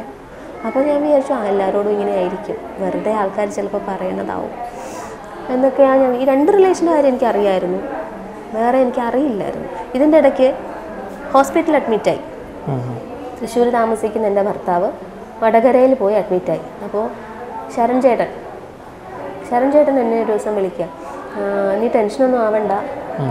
ആദ്യത്തെ ഹോസ്പിറ്റൽ വടകര ഹോസ്പിറ്റലിൽ അഡ്മിറ്റ് ആണെന്ന് പറയുന്നത് കേൾക്കും ആരാ പറഞ്ഞു? ലിഷോയ് ചേട്ടൻ പറഞ്ഞു. ലിഷോയ് ചേട്ടന്റെ കയ്യിൽ നിന്റെ നമ്പറില്ല ഞാൻ കൊടുക്കാം. ചേട്ടന്റെ നമ്പർ ഞാൻ സെൻഡ് ചെയ്യാൻ നീ വിളിച്ച് ചോദിക്കാൻ പറഞ്ഞു അങ്ങനെ ഞാൻ വിളിച്ച് ചോദിച്ചപ്പോൾ അദ്ദേഹത്തെ ആരോ വിളിച്ച് ഇൻഫോം ചെയ്താണ് വടകര ഹോസ്പിറ്റലിൽ ഞാൻ അങ്ങനെ ഹോസ്പിറ്റലിൽ വിളിച്ച് സത്യമാണ്. വടകരയിൽ എന്തോ ക്ഷീണം അവശത എന്ന് പറഞ്ഞാണ് അഡ്മിറ്റ് ആയത് ഒബ്സർവേഷനിലായിരുന്നു. രാത്രിയിൽ പോയ ആൾ പിറ്റേ ദിവസം അവർ പറഞ്ഞു ഞാൻ ഓരോ പ്രാവശ്യം വിളിക്കുന്നുണ്ടായിരുന്നു. കാരണം നമ്മൾ സ്നേഹിച്ചത് കള്ളമല്ലല്ലോ. അദ്ദേഹത്തിന് എന്താണ് പറ്റിയെന്നറിയാനുള്ള പറ്റ ഈ ഒരു സിറ്റുവേഷൻ നമുക്ക് പോകാൻ പറ്റില്ല. പല കാര്യങ്ങളായിരുന്നു. ഒന്ന് കുഞ്ഞിന്റെ കാര്യം. എന്റെ വല്ലിച്ച ഹോസ്പിറ്റലിൽ കിടക്കുന്നു. അച്ഛൻ ഹോസ്പിറ്റലിൽ നിൽക്കുക എനിക്ക് ഒറ്റയ്ക്ക് പോകാൻ പറ്റില്ല ഈ കുഞ്ഞുമായിട്ട്. കുഞ്ഞിനെയും കൂടെ നമുക്ക് ബസ്സിൽ പോകാൻ പറ്റുമോ? കുഞ്ഞ് ഫീഡിങ് ഉള്ള കുഞ്ഞാണ്. അപ്പോൾ ഞാൻ സി അദ്ദേഹത്തിന് സീരിയസ് സത്യം ആയിട്ടുള്ള വയ്യാഴിയാണ് ഞാൻ അപ്പോഴും കരുതുന്നത്. ഞാൻ ഞാൻ അതിന്റെ ഒരു ഓഡിയോ അയച്ച് കേൾപ്പിച്ചു തരാം. അപ്പോൾ ആറ് മണിക്കൂർ കഴിഞ്ഞ് എന്തോ ഒരു ടെസ്റ്റ് ഉണ്ട്. അപ്പോൾ അത് കഴിഞ്ഞ് വിളിക്കാൻ പോകണം അത് മൂന്ന് മണിക്കായിരുന്നു വെളുപ്പിന് മൂന്ന് മണിക്ക്. അത് കഴിഞ്ഞപ്പോൾ ഞാൻ വിളിച്ചു എങ്ങനെയുണ്ട്? കുഴപ്പമില്ല. അപ്പോൾ ലാസ്റ്റ് കിട്ടിയ ഇൻഫർമേഷൻ എന്ന് പറഞ്ഞാൽ കുഴപ്പമില്ല. അപ്പോൾ ഡോക്ടർ വരും. അദ്ദേഹത്തിന്റെ ടെസ്റ്റുകൾക്കൊന്നും ഒരു പ്രശ്നമില്ല ഇ സി ജിക്ക് കുഴപ്പമില്ല. ഡോക്ടർ വരും വിടും എന്നാണ്. ഇദ്ദേഹം ഞാൻ ചോദിക്കട്ടെ? തൃശ്ശൂർ താമസിക്കുന്ന ആൾ വടകരയിൽ പോയി എന്തിനു അഡ്മിറ്റ് ആവണം? അതിനുശേഷം ഈ വടകര അഡ്മിറ്റ് ആയ ആൾ അവിടുന്ന് തൊട്ടടുത്ത ദിവസം ചേരാളി ചേരാളി ചേരാളിയോ? അവിടെ ഒരു ഹോസ്പിറ്റലിൽ പോയി അഡ്മിറ്റായി തൃശ്ശൂർ തന്നെ തൃശ്ശൂരല്ല. മാഹിക്കടുത്താണ്. മാഹിക്കടുത്ത്. ഈ പെൺകുട്ടി അന്നത്തെ ദിവസം പോയല്ലോ. അവിടെ പോയിട്ട് ഈ പെൺകുട്ടിക്ക് ഞാൻ മരിക്കാൻ പോവുകയാണ്. എനിക്ക് ആരുമില്ല. നീ തിരിച്ചു വരണം. അമ്പിളി എന്നെ തിരിഞ്ഞു നോക്കുന്നില്ല. നീ നീ നിന്നെ എനിക്ക് വേണം. അത് ഈ പെൺകുട്ടി കേസ് കൊടുക്കുമെന്നോ? ഉള്ള ഭയം കൊണ്ടാണോ? അതല്ലെങ്കിൽ ഈ പെൺകുട്ടിയോട് അത്രയും സ്നേഹമുള്ളത് കൊണ്ടാണോ നമുക്കൊന്നും അറിയില്ല. എന്താണ് സംഭവമെന്ന്. ഒരുപാട് ഫോട്ടോസും ഒക്കെ എടുത്ത് ക്ഷീണം ആരുമില്ല എന്നെ നോക്കാൻ അയച്ച് ഈ പെൺകുട്ടി ഇവളുടെ ഭർത്താവിന്റെ അടുത്ത് വേറെ എവിടെയോ പോവുകയാണെന്ന് പറഞ്ഞ് പോയിട്ട് ഒരു ദിവസം പോയി കൂട്ടിരുന്നു. ഒരു നൈറ്റ് വീണ്ടും അവളുടെ റിലേഷൻ സ്റ്റാർട്ട് ചെയ്തു. ഒരു നൈറ്റ് പോയി കൂട്ടിരുന്നു. അപ്പോൾ ഇതിൽ നിന്നൊക്കെ ഞാൻ ആ ഹോസ്പിറ്റലിൽ വിളിച്ച എന്റെ ഓഡിയോ ഒന്ന് കേൾപ്പിക്കാം. വടകര ഹോസ്പിറ്റലിൽ പോയി അദ്ദേഹം അഡ്മിറ്റ് ആയതിന് ഞാൻ വിളിച്ചതാണ് ഹോസ്പിറ്റലിൽ അവിടെ ഇന്നലെ ഒബ്സർവേഷൻ ഉണ്ടായിരുന്ന ആദിത്യൻ ജെ എന്ന് പറഞ്ഞ പേഷ്യന്റിന്റെ ഇല്ലേ? എങ്ങനെ ഉണ്ടായിരുന്നു. എന്തായിരുന്നു മാഡം? ആദിത്യൻ ജെ എന്ന് പറഞ്ഞ പേഷ്യന്റ് ഒബ്സർവേഷൻ ഉണ്ടായിരുന്നല്ലോ? ഉണ്ടല്ലോ. മൂന്ന് മണിക്ക് ഒരു ടെസ്റ്റ് ഉണ്ടെന്ന് പറഞ്ഞിരുന്നു. എങ്ങനെ ഉണ്ടാകുന്നു ഒന്ന് ഹോൾഡ് ചെയ്യൂ കേട്ടോ. Hello? Hello? Hello? Hello? Good morning ഇത് സദൺ ഹോസ്പിറ്റലിൽ നിന്നാണേ ആ അവിടെ ഞാൻ ഞാനിപ്പോ ചോദിച്ചിരുന്നു. ആദിത്യൻ ജെ എന്ന് പറഞ്ഞൊരു ഒരു ഒരു പേഷ്യന്റ് ഒബ്സർവേഷൻ ഉണ്ടായിരുന്നില്ലേ? ഹെൽത്ത് കണ്ടീഷൻ എങ്ങനെയുണ്ട്? കുഴപ്പമൊന്നുമില്ല ഈ പിന്നെ ഈ ബ്ലഡ് ടെസ്റ്റ് ഒക്കെ കുഴപ്പമൊന്നുമില്ല അതൊക്കെ നെഗറ്റീവ് ആണ്. ഹാർട്ട് അറ്റാക്ക് ആണോ എന്നുള്ളൊരു ഡൗട്ടിന് വേണ്ടി ചെയ്തതായിരുന്നു. അതൊന്നും കുഴപ്പമില്ല. നെഗറ്റീവ് ആണ്. ഇപ്പൊ ഡോക്ടർ വന്ന് കണ്ടിട്ടുണ്ടായിരുന്നു. അവർക്ക് ഇപ്പൊ പോവാം. ഓക്കെ. ബ്ലഡ് ടെസ്റ്റ് ഒന്നും കുഴപ്പമില്ല. Okay okay. വേറെ പ്രോബ്ലംസ് ഒന്നും ഇല്ലല്ലോ? ഇല്ല വേറെ പ്രോബ്ലംസ് ഒന്നുമില്ല. ഓക്കെ താങ്ക് യു ഞാൻ വിളിച്ചന്വേഷിച്ചതാണ് ഈ കാര്യം. ഈ ലിഷോയ് ചേട്ടനും ശരൺ ചേട്ടനും എല്ലാം ഇപ്പോഴും ഉണ്ടല്ലോ. ഇങ്ങനെ ഒരു സംഭവം ഉണ്ടായിട്ടുണ്ടോ എന്ന് ഇവർക്കറിയാം. ഇതിനുശേഷം ചെറാളി ഹോസ്പിറ്റൽ അവിടെയും പോയി അഡ്മിറ്റായി അഡ്മിറ്റായി ഈ പെൺകുട്ടിക്ക് ഒരുപാട് വീഡിയോസും കാര്യങ്ങളും വിഷമം സങ്കടങ്ങൾ നീ ഇല്ലാതെ പറ്റില്ല. അങ്ങനെ ഇവർ പോയി കൂട്ടിരിക്കുകയൊക്കെ ചെയ്തു. അതൊക്കെ കഴിഞ്ഞിട്ടാണ് ഇരുപത്തിമൂന്നാം തീയതി ഇവിടെ വരുന്നത്. ഇവിടെ വന്ന് ഞാൻ സംസാരിച്ച് അവസാനം കുഞ്ഞിന്റെ ഒരു കാര്യത്തിൽ എന്റെ അപ്പൂന്റെ ഒരു കാര്യത്തിൽ ഇതിന് മുമ്പുണ്ടായ ഒരു സംഭവം എന്ന് വെച്ചാൽ അദ്ദേഹം എന്നോട് പറഞ്ഞു. അപ്പോൾ എന്നോട് ഭയങ്കര സ്നേഹമാണല്ലോ. കുഞ്ഞിന്റെ കാര്യം പറഞ്ഞപ്പോൾ ഞാൻ നിങ്ങളുടെ കയ്യിൽ നിന്ന് നിങ്ങളെനിക്ക് പൈസ തന്നിട്ടുണ്ടെങ്കിൽ ആ കൊച്ചിന്റെ അണ്ണാക്കിൽ ഞാൻ കുത്തി കയറ്റി കൊടുത്തിട്ടുണ്ട് എന്ന് പറഞ്ഞു. അത് കേട്ടപ്പോൾ എനിക്ക് ഭയങ്കരമായിട്ട് കുഞ്ഞിന്റെ കാര്യത്തിൽ അത് വന്നപ്പോൾ എനിക്ക് ഫീൽ ചെയ്തു. ഞാനൊന്നും പറയാൻ പോയില്ല. ഇവിടെ വന്ന ദിവസം ഇദ്ദേഹം ഒരു പൊതിക്കകത്ത് കുഞ്ഞിനൊരു ഉടുപ്പാണ് അപ്പൂന്. ചെറിയാക്കല്ല അപ്പൂന്. കൊണ്ടുവന്നു. അപ്പൂനെ വിളിച്ചു. ഇത് കൊടുക്കാൻ പോയി. ഞാൻ പറഞ്ഞു ജയൻ ചേട്ടന് ഇനി വേണ്ടി കാശ് ചിലവാക്കി പൈസ നഷ്ടം വരുത്തണ്ട കടമൊന്നും വരുത്തണ്ട ഉണ്ടാക്കി വെക്കണ്ട. എന്റെ മോന് ചെറിയ ആൾക്ക് എന്തെങ്കിലും ചെയ്യുന്നെങ്കിൽ ചെയ്തു അതിനൊന്നും ഒരു എതിർപ്പുമില്ല അപ്പൂന് വേണ്ടി ഇനിയൊന്നും ചെയ്യല്ലേ എന്ന് പറഞ്ഞു. കുറച്ച് കഴിഞ്ഞ് ഇദ്ദേഹം ദേഷ്യം വന്ന് അതിന്റെ വീഡിയോ എന്റെ കയ്യിലുണ്ട്. ഈ കവർ എടുത്ത് റോഡിലേക്ക് എറിഞ്ഞു. നിന്നെ കൊല്ലും. നീ അങ്ങനെ ഇങ്ങനെ എന്തൊക്കെയോ ചീത്തകൾ പറഞ്ഞു പോയി ഗേറ്റിൽ പോയി ചവിട്ടി പോക്കറ്റിൽ നിന്ന് കത്തി ഊരി വീശി അതിന്റെയൊക്കെ സി സി ടി വി ദൃശ്യങ്ങളുണ്ട് അയച്ചു തരാം ഞാൻ. സം എല്ലാത്തിനെയും വെട്ടും കൊല്ലും കുത്തും എന്നൊക്കെയുള്ള തീർത്ത് കളയും എന്റെയും എന്നെയും എന്റെ പൊടിമോനെയും കാണാം ആ വീഡിയോയ്ക്കകത്ത്. ഇങ്ങനെയൊക്കെയുള്ള സംഭവങ്ങളാണ് ഇത്രയും ദിവസങ്ങളായിട്ട് ഉണ്ടായിക്കൊണ്ടിരിക്കുന്നത്. എന്നിട്ട് ഞാൻ ഈ പെൺകുട്ടി ഇന്ന് ഞാൻ ഒരു വീഡിയോ ഉണ്ടെന്ന് പറഞ്ഞു. ഞാൻ ഇനി അദ്ദേഹവുമായിട്ട് കമ്മ്യൂണിക്കേറ്റ് ചെയ്യില്ല എന്നൊക്കെ പറഞ്ഞിരുന്നു. ഇവർ കമ്മ്യൂണിക്കേറ്റ് ചെയ്യാത്ത ആളാണോ ഈ ഹോസ്പിറ്റലിൽ കൂട്ടുപോയത്? ഇപ്പോഴും ആ ബന്ധം തുടരുന്നുണ്ട് ഉണ്ടാവും തുടർന്നോട്ടെ. എനിക്ക് യാതൊരു പ്രശ്നങ്ങളും ഇല്ല. എന്താ അമ്പിളിയുടെ ഇനിയത്തെ തീരുമാനം എന്താ? ഇനി ഇങ്ങനെ ഒരു വ്യക്തിയോട് എനിക്ക് ജീവിക്കാൻ പറ്റില്ല. അത്രയൊക്കെ എന്നെ അത്രയ്ക്ക് എന്നെ ഇനി ഒന്നുമില്ല. അത്രയ്ക്ക് മെന്റലി ഫിസിക്കലി ഒക്കെ ടോർച്ചർ ചെയ്തിട്ടുണ്ട്. എന്നിട്ടും നമ്മൾ ക്ഷമിക്കാൻ തയ്യാറായി വരുമ്പോൾ പിന്നെയും വേറൊരാൾ മതി എന്ന് പറയുമ്പോൾ നമുക്ക് എന്ത് ചെയ്യാൻ പറ്റും? അവർ ജീവിച്ചോട്ടെ. അങ്ങനെയാണ് ഞാൻ ഈ ഒരു പാട്ട് കേട്ടപ്പോൾ യാദൃശികമായിട്ട് കേട്ടതാട്ടോ എന്റെ ജീവിതം വലിയ ഇത് എന്നെനിക്ക് തോന്നി. ഞാൻ എന്റെ വിഷമം കൊണ്ടാണ് ഈ ഒരു പോസ്റ്റ് ഇട്ടത്. സ്വന്തമായിട്ട് തന്നെയാണോ വീഡിയോ ക്രിയേറ്റ് ചെയ്തത്? തീർച്ചയായും. തീർച്ചയായും ഞാനാണ് ഞാൻ തന്നെയാണ് ആ വീഡിയോ ഇട്ടത്. പക്ഷെ അത് ഇങ്ങനെയൊന്നും ഇത്രയൊക്കെ എനിക്ക് അങ്ങനെ പബ്ലിക്കിനെ നാറ്റിക്കാനാണെങ്കിൽ ഞാൻ ഇത് കാര്യങ്ങളൊക്കെ വെച്ച് എനിക്കൊരു പ്രസ് മീറ്റ് നടത്തിയാൽ പോരെ. എന്റെ ഭർത്താവിനെ ഞാൻ മനഃപൂർവം നാറ്റിക്കാൻ വേണ്ടിയിട്ടാണെന്നുണ്ടെങ്കിൽ അങ്ങനെയും ചെയ്യാമല്ലോ എനിക്ക്. അതോടുകൂടിയിട്ടാണ് മനസ്സിലായത് എല്ലാവർക്കും അല്ലേ? ഇത് ഈ പാട്ട് ഞാൻ പോസ്റ്റ് ചെയ്യുമ്പോൾ സത്യം പറയാമല്ലോ മനസ്സിൽ എവിടെയോ ഒരു പ്രതീക്ഷ അത്രയൊക്കെ ഞാൻ ആ മനുഷ്യനെ സ്നേഹിച്ചിട്ടുണ്ട്. എന്റെ ആദ്യത്തെ ബന്ധത്തിൽ പ്രോബ്ലംസ് ഉണ്ടായപ്പോൾ പോലും എനിക്ക് ഇത്ര വിഷമം ഉണ്ടായിട്ടില്ല. എന്തോ അത്രയ്ക്ക് ഞാൻ ഈ മനുഷ്യനെ സ്നേഹിച്ചിട്ടുണ്ട് വിശ്വസിച്ചിട്ടുണ്ട്. പറഞ്ഞ കാര്യങ്ങളില്ല. ഇപ്പം സ്നേഹിക്കുന്നു ഈ നിമിഷം. അല്ല. ഇപ്പം എന്താണ് മനസ്സിലുള്ളത് ആദ്യത്തിനോട്? ബ്ലാങ്ക് ആണ് വെറുപ്പാണോ? ദേഷ്യമാണോ? എന്തിന്? എന്തിന്? ഒരുപാട് പ്രതീക്ഷകളോടെ ഒരു രണ്ടാം ജീവിതം തുടങ്ങിയതാണ്. ആ ജീവിതം. ഇത്രയും താറുമാറാക്കിയ ആളോട് ഇപ്പോൾ ഒന്നുമില്ല എന്നാണോ? ഒരു എനിക്ക് ഒരു വികാരവുമില്ല. കുറേ ദിവസം കരഞ്ഞു തീർത്തു. കുറേ ദിവസങ്ങൾ ഈ മാർച്ച് ഒൻപതാം തീയതി തുടങ്ങി. ഇന്നലെ എന്റെ വീട്ടിലൊരു മരണം. ഇന്ന് എന്റെ വീട്ടിലൊരു മരണം ഉണ്ടായി. എന്റെ അമ്മയുടെ സഹോദരൻ മൂത്ത സഹോദരൻ മരിച്ചു. പക്ഷേ ഈ കഴിഞ്ഞ ഒമ്പതാം തീയതി തൊട്ട് ഇതൊരു മരണ വീട് പോലെ തന്നെയാണ് ആർക്കും ആരോടും സംസാരമില്ല. ദുരന്തങ്ങൾ വന്നുകൊണ്ടേയിരിക്കുന്നു. ഭക്ഷണം ഈ മരുന്ന് അച്ഛനും അമ്മയൊക്കെ മരുന്ന് കഴിക്കേണ്ടതുകൊണ്ട് ഭക്ഷണം കഴിക്കുന്നു. ജീവൻ കിടക്കാൻ വേണ്ടി നമ്മൾ എന്തെങ്കിലും കഴിച്ചു നിൽക്കുന്നു ജീവിക്കുന്നു. അപ്പോൾ ഇനി ഡിവോഴ്സ് ആണോ അടുത്ത സ്റ്റെപ്പ് ഡിവോഴ്സിലേക്ക് ഞാൻ പോകുന്നില്ല. ഈ നിമിഷം വരെ അന്ന് എന്ന് എനിക്ക് എടുത്തു പറയണം. നാളത്തെ കാര്യം. ഈ ഒരു കാര്യത്തിൽ എനിക്ക് പൂർണമായിട്ടും ഇങ്ങനെ ആയിരിക്കും എന്ന് പറയാൻ പറ്റില്ല. എന്റെ ഇനിയുള്ള നാളെ തൊട്ടുള്ള കാര്യങ്ങൾ എനിക്ക് അറിയില്ല. മാപ്പ് കൊടുക്കുമോ ഇനിയില്ല. മാപ്പ് കൊടുക്കാന്ന് വെച്ചാൽ തിരിച്ചു കൊണ്ടുവരാനോ ലൈഫിലേക്ക്? ഇല്ല. ഒരു സ്ത്രീക്ക് താഴാൻ പറ്റുന്നതിന്റെ മാക്സിമം ഞാൻ താണിട്ടുണ്ട്. ആദ്യത്തെ ഇനി ഭീഷണിപ്പെടുത്തി വന്നാൽ എന്ത് ചെയ്യും? ജീവിക്കണമെന്ന് അങ്ങനെ ഭീഷണിപ്പെടുത്തിയ ഒരാളുടെ കൂടെ ജീവിക്കാൻ പറ്റുമോ കുഞ്ഞിനെ വേണമെന്ന് പറഞ്ഞു വന്നാലോ? കുഞ്ഞിനെ വേണമെന്നുണ്ടെങ്കിൽ കുഞ്ഞിനെ കണ്ടോട്ടെ. അദ്ദേഹം നോക്കിക്കോട്ടെ. കൊടുക്കാൻ? തയ്യാറാണോ? കൊടുക്കാൻ അദ്ദേഹം നോക്കുമെങ്കിൽ നോക്കും. അങ്ങനെ പൂർണമായിട്ട് അദ്ദേഹത്തിന് നോക്കാൻ പറ്റില്ലല്ലോ.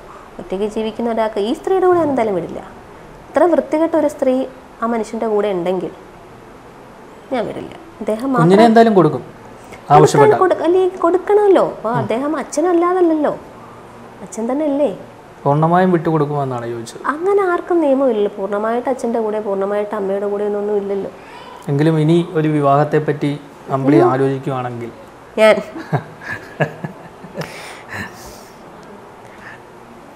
ഞാൻ എന്ത് പറയണ്ടേ?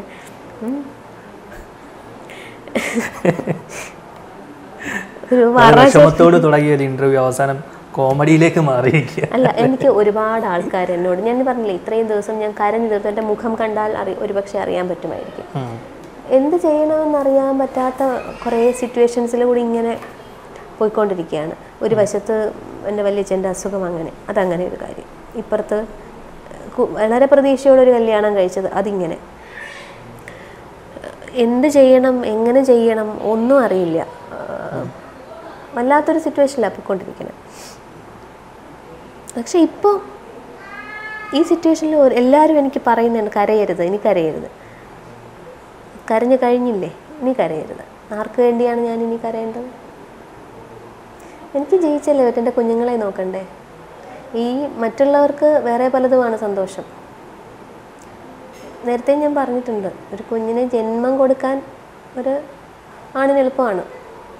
ഇപ്പോൾ പെൺ സ്ത്രീ എന്ന് പറയുമ്പോൾ ആ പ്രസവത്തിന്റെതായ വേദനകളുണ്ടാവും. ജന്മം കൊടുക്കാൻ ജന്മം കൊടുക്കാം. പക്ഷേ വളർത്തുക എന്ന് പറയുന്നത് കുറച്ച് ഉത്തരവാദിത്തമുള്ള ജോലിയാണ്. കുഞ്ഞുങ്ങളെ കുഞ്ഞുങ്ങളുടെ കാര്യം നോക്കണം രണ്ടുപേരുടെയും കാര്യങ്ങൾ നോക്കണം. അച്ഛനും അമ്മയും ഉണ്ട്. അവരുടെ കാര്യം ഓർക്കുമ്പോൾ എനിക്ക് നല്ല വിഷമമുണ്ട്. കാരണം അവർക്ക് അത്ര ഇഷ്ടമായിരുന്നു ഈ മനുഷ്യനെ. അല്ലെങ്കിൽ ഈ ഒരു കല്യാണം നടക്കില്ല. അങ്ങനെ എന്റെ അങ്കിൾ ഫ്രണ്ട് ആണെന്നാണ് പറയുന്നത്. ലൊക്കേഷനുകളിൽ ചെന്നാലും എന്റെ അച്ഛനോട് കൂടുതൽ സംസാരിക്കുന്നതൊക്കെ. അമ്മയോടും പണ്ട് തൊട്ടേ കാണുമ്പോൾ ഒരു ആന്റി ആന്റി എന്ന് വിളിക്കുന്ന അതിലെ ആ ഒരു സ്നേഹമൊക്കെ കണ്ടിട്ട് അമ്മയ്ക്ക് ഭയങ്കര വിശ്വാസമായിരുന്നു. അവരുടെ വിഷമം അതോർത്ത് എനിക്കൊരു വിഷമം ആ- കാര്യത്തിൽ എനിക്ക് വിഷമമുണ്ട്. ഇനി തനിച്ച് ജീവിക്കാനാണോ തീരുമാനം? സിംഗിൾ പേരന്റായിട്ട്. ആ. പിന്നെ എനിക്ക് അച്ഛനുണ്ട് അമ്മയുണ്ട്. പിന്നെ സപ്പോർട്ട് ചെയ്യുന്ന ഒരുപാട് ആൾക്കാരുണ്ട് ഇപ്പോൾ എനിക്ക് അറിയാത്ത ആൾക്കാർ വരെയും. നല്ല ഒരാൾ വന്നാൽ പോലും എനിക്ക് എനിക്കിപ്പോൾ അതിനെപ്പറ്റി ഒന്നും നമുക്ക് പറയാൻ പറ്റാത്തൊരു എങ്ങനെ എനിക്ക് അറിയില്ല. പക്ഷേ ഈ വാക്കുകൾക്കിടയിലും ആദ്യത്തിനോട് ഇപ്പോഴും സ്നേഹമുണ്ടെന്നാണ് ഞാൻ കരുതുന്നത്. ഉള്ളിൽ ഇപ്പോഴും അണയാതെ ആ തരി കിടപ്പുണ്ട് അല്ലേ? ഉണ്ടെങ്കിൽ ഞാനത് ഉൺ- അഥവാ ഉണ്ടായി വന്ന അത് അവിടെ തന്നെ ചവറയിൽ ഫയർഫോഴ്സിനെ വിളിച്ചണയ്ക്കും. തീർച്ചയായും. തീർച്ചയായും. ഇനി എന്തായാലും ഇല്ല. പിന്നെ ഒരു കളരിയുടെ കാര്യം പറഞ്ഞല്ലോ അതെനിക്കൊന്ന് പറയണമെന്നുണ്ട്. വൃത്തിയായിട്ട് വൃത്തി എന്ന് വെച്ചാൽ പറയാൻ നമുക്ക് പ്രത്യേകിച്ച് അതിലൊന്നുമില്ല. ഒന്നും ഇല്ലാത്തൊരു കാര്യമാണ്. ഇവിടെ കളരി ക്ലാസ് തുടങ്ങിയപ്പോൾ അദ്ദേഹം പറഞ്ഞു നമുക്ക് പെൺകുട്ടികൾക്കും സ്ത്രീകൾക്കും മാത്രമായിട്ട് കളരി ക്ലാസ് തുടങ്ങാം. ശരി. അപ്പോൾ ഞാൻ നൃത്യോദയയ്ക്ക് ഒരു ഗ്രൂപ്പ് ഉണ്ട്. ഞാൻ അതിൽ ഇട്ടു. പെൺകുട്ടികൾക്കും സ്ത്രീകൾക്കുമായിട്ട് കളരി ക്ലാസ് തുടങ്ങാൻ പോവുകയാണ് താല്പര്യമുള്ളവർ പറയുക. അപ്പോൾ ആരും റെസ്പോണ്ട് ചെയ്തിട്ടില്ല. വിളികൾ വന്നതെല്ലാം ആൺകുട്ടികൾ. ആൺകുട്ടികളെന്ന് പറയുമ്പം ഇപ്പം പത്ത് വയസ്സും എട്ട് വയസ്സും. ഇപ്പം എന്റെ മകനെ ഇവിടെ തന്നെ അപ്പു. അവന് അന്ന് ഏഴ് വയസ്സാണ് അപ്പോൾ അവനെയും ഇവിടെ തന്നെ ജോയിൻ ചോദിക്കാമല്ലോ കൊല്ലം വരെ കൊണ്ടുപോകണ്ടല്ലോ എന്നുണ്ടായിരുന്നു. അപ്പോൾ അവന്റെ പ്രായത്തിലുള്ള കുട്ടികളൊക്കെയാണ് ആ കുട്ടികൾ ഇവിടെ പഠിച്ചുകൊണ്ടിരിക്കുന്ന ഡാൻസ് പഠിക്കുന്ന കുട്ടികളുടെ സഹോദരന്മാരാണ്. ഓരോരുത്തരെയും ആ പേരൻസ് വിളിച്ച് പറയുന്നത് ആൺകുട്ടികൾക്കുണ്ടോ ആൺകുട്ടികൾക്കുണ്ടോ? എന്ന് ചോദിച്ചുകൊണ്ടിരുന്നു. അങ്ങനെ ഈ കാര്യം ഞാൻ ജയിഞ്ചേട്ടനോടും ചേട്ടനോടും പറഞ്ഞതാ. ജയൻ അതേ വായിൽ വരുത്തുള്ളൂ. അപ്പോൾ അദ്ദേഹം പറഞ്ഞു വേണ്ട നമുക്ക് പെൺകുട്ടികളും സ്ത്രീകളും മതി. ആണുങ്ങൾ വന്നാൽ പിന്നെ ഉടുപ്പൊക്കെ ഊരിക്കുന്നത് ഞാൻ പറഞ്ഞു ആൺകുട്ടികൾ ആകുമ്പോൾ അങ്ങനെ നമുക്കെന്താ നമ്മളൊന്നും അവിടെ പോയി നോക്കാൻ പോകുന്നില്ലല്ലോ. വേണ്ട വേണ്ട ആണുങ്ങളും ആൺകുട്ടികളും ഒന്നും വേണ്ട. അങ്ങനെ കുറേ ദിവസം കഴിഞ്ഞിട്ടും അന്വേഷണമൊന്നും ഉണ്ടായില്ല. അപ്പോൾ ഇദ്ദേഹം തന്നെ വന്നു ശരി എങ്കിൽ നമുക്ക് ആൺകുട്ടികളെ കൂടെ ഉൾപ്പെടുത്താം. ഉൾപ്പെടുത്താം. അങ്ങനെ ഗുരുക്കൾ ഒരു ദിവസം വന്നു. ഗുരുക്കൾ വന്നപ്പോൾ ഗുരുക്കളെടുത്ത് ഞാൻ പറഞ്ഞു ഇങ്ങനെ നമ്മൾ ആദ്യം പെൺകുട്ടികളും സ്ത്രീകളും എന്നാണ് പറഞ്ഞത് പക്ഷേ ഈ വന്നത് ഇത്രയും ആൺകുട്ടികളാണ് സർ. എന്തെങ്കിലും കുഴപ്പമുണ്ടോ? ഏത് ഏജിലുള്ളവർക്കും ചെയ്യാൻ കുഴപ്പമില്ല. എന്ന് പറഞ്ഞു. ഇത് അദ്ദേഹത്തിന് ഇഷ്ടമായില്ല. അപ്പോഴൊന്നും കാണിച്ചില്ല. ഗുരുക്കളെ കൊണ്ട് വിട്ടതിന് ശേഷം ഇദ്ദേഹം ട്രിവാൻഡ്രത്ത് ഷൂട്ട് ഉണ്ടായിരുന്നു. ഷൂട്ടിന് വേണ്ടി പോയി. അപ്പോൾ ഞാൻ ഇദ്ദേഹത്തെ ഞാൻ വിളിച്ച് അന്വേഷിക്കാറില്ല എന്നല്ലേ പറയുന്നത്? ഞാൻ ഇദ്ദേഹത്തെ വിളിച്ചു. വിളിച്ചപ്പോൾ എന്നോട് സംസാരിച്ച കാര്യങ്ങളൊന്ന് കേൾക്കണേ. ഹലോ.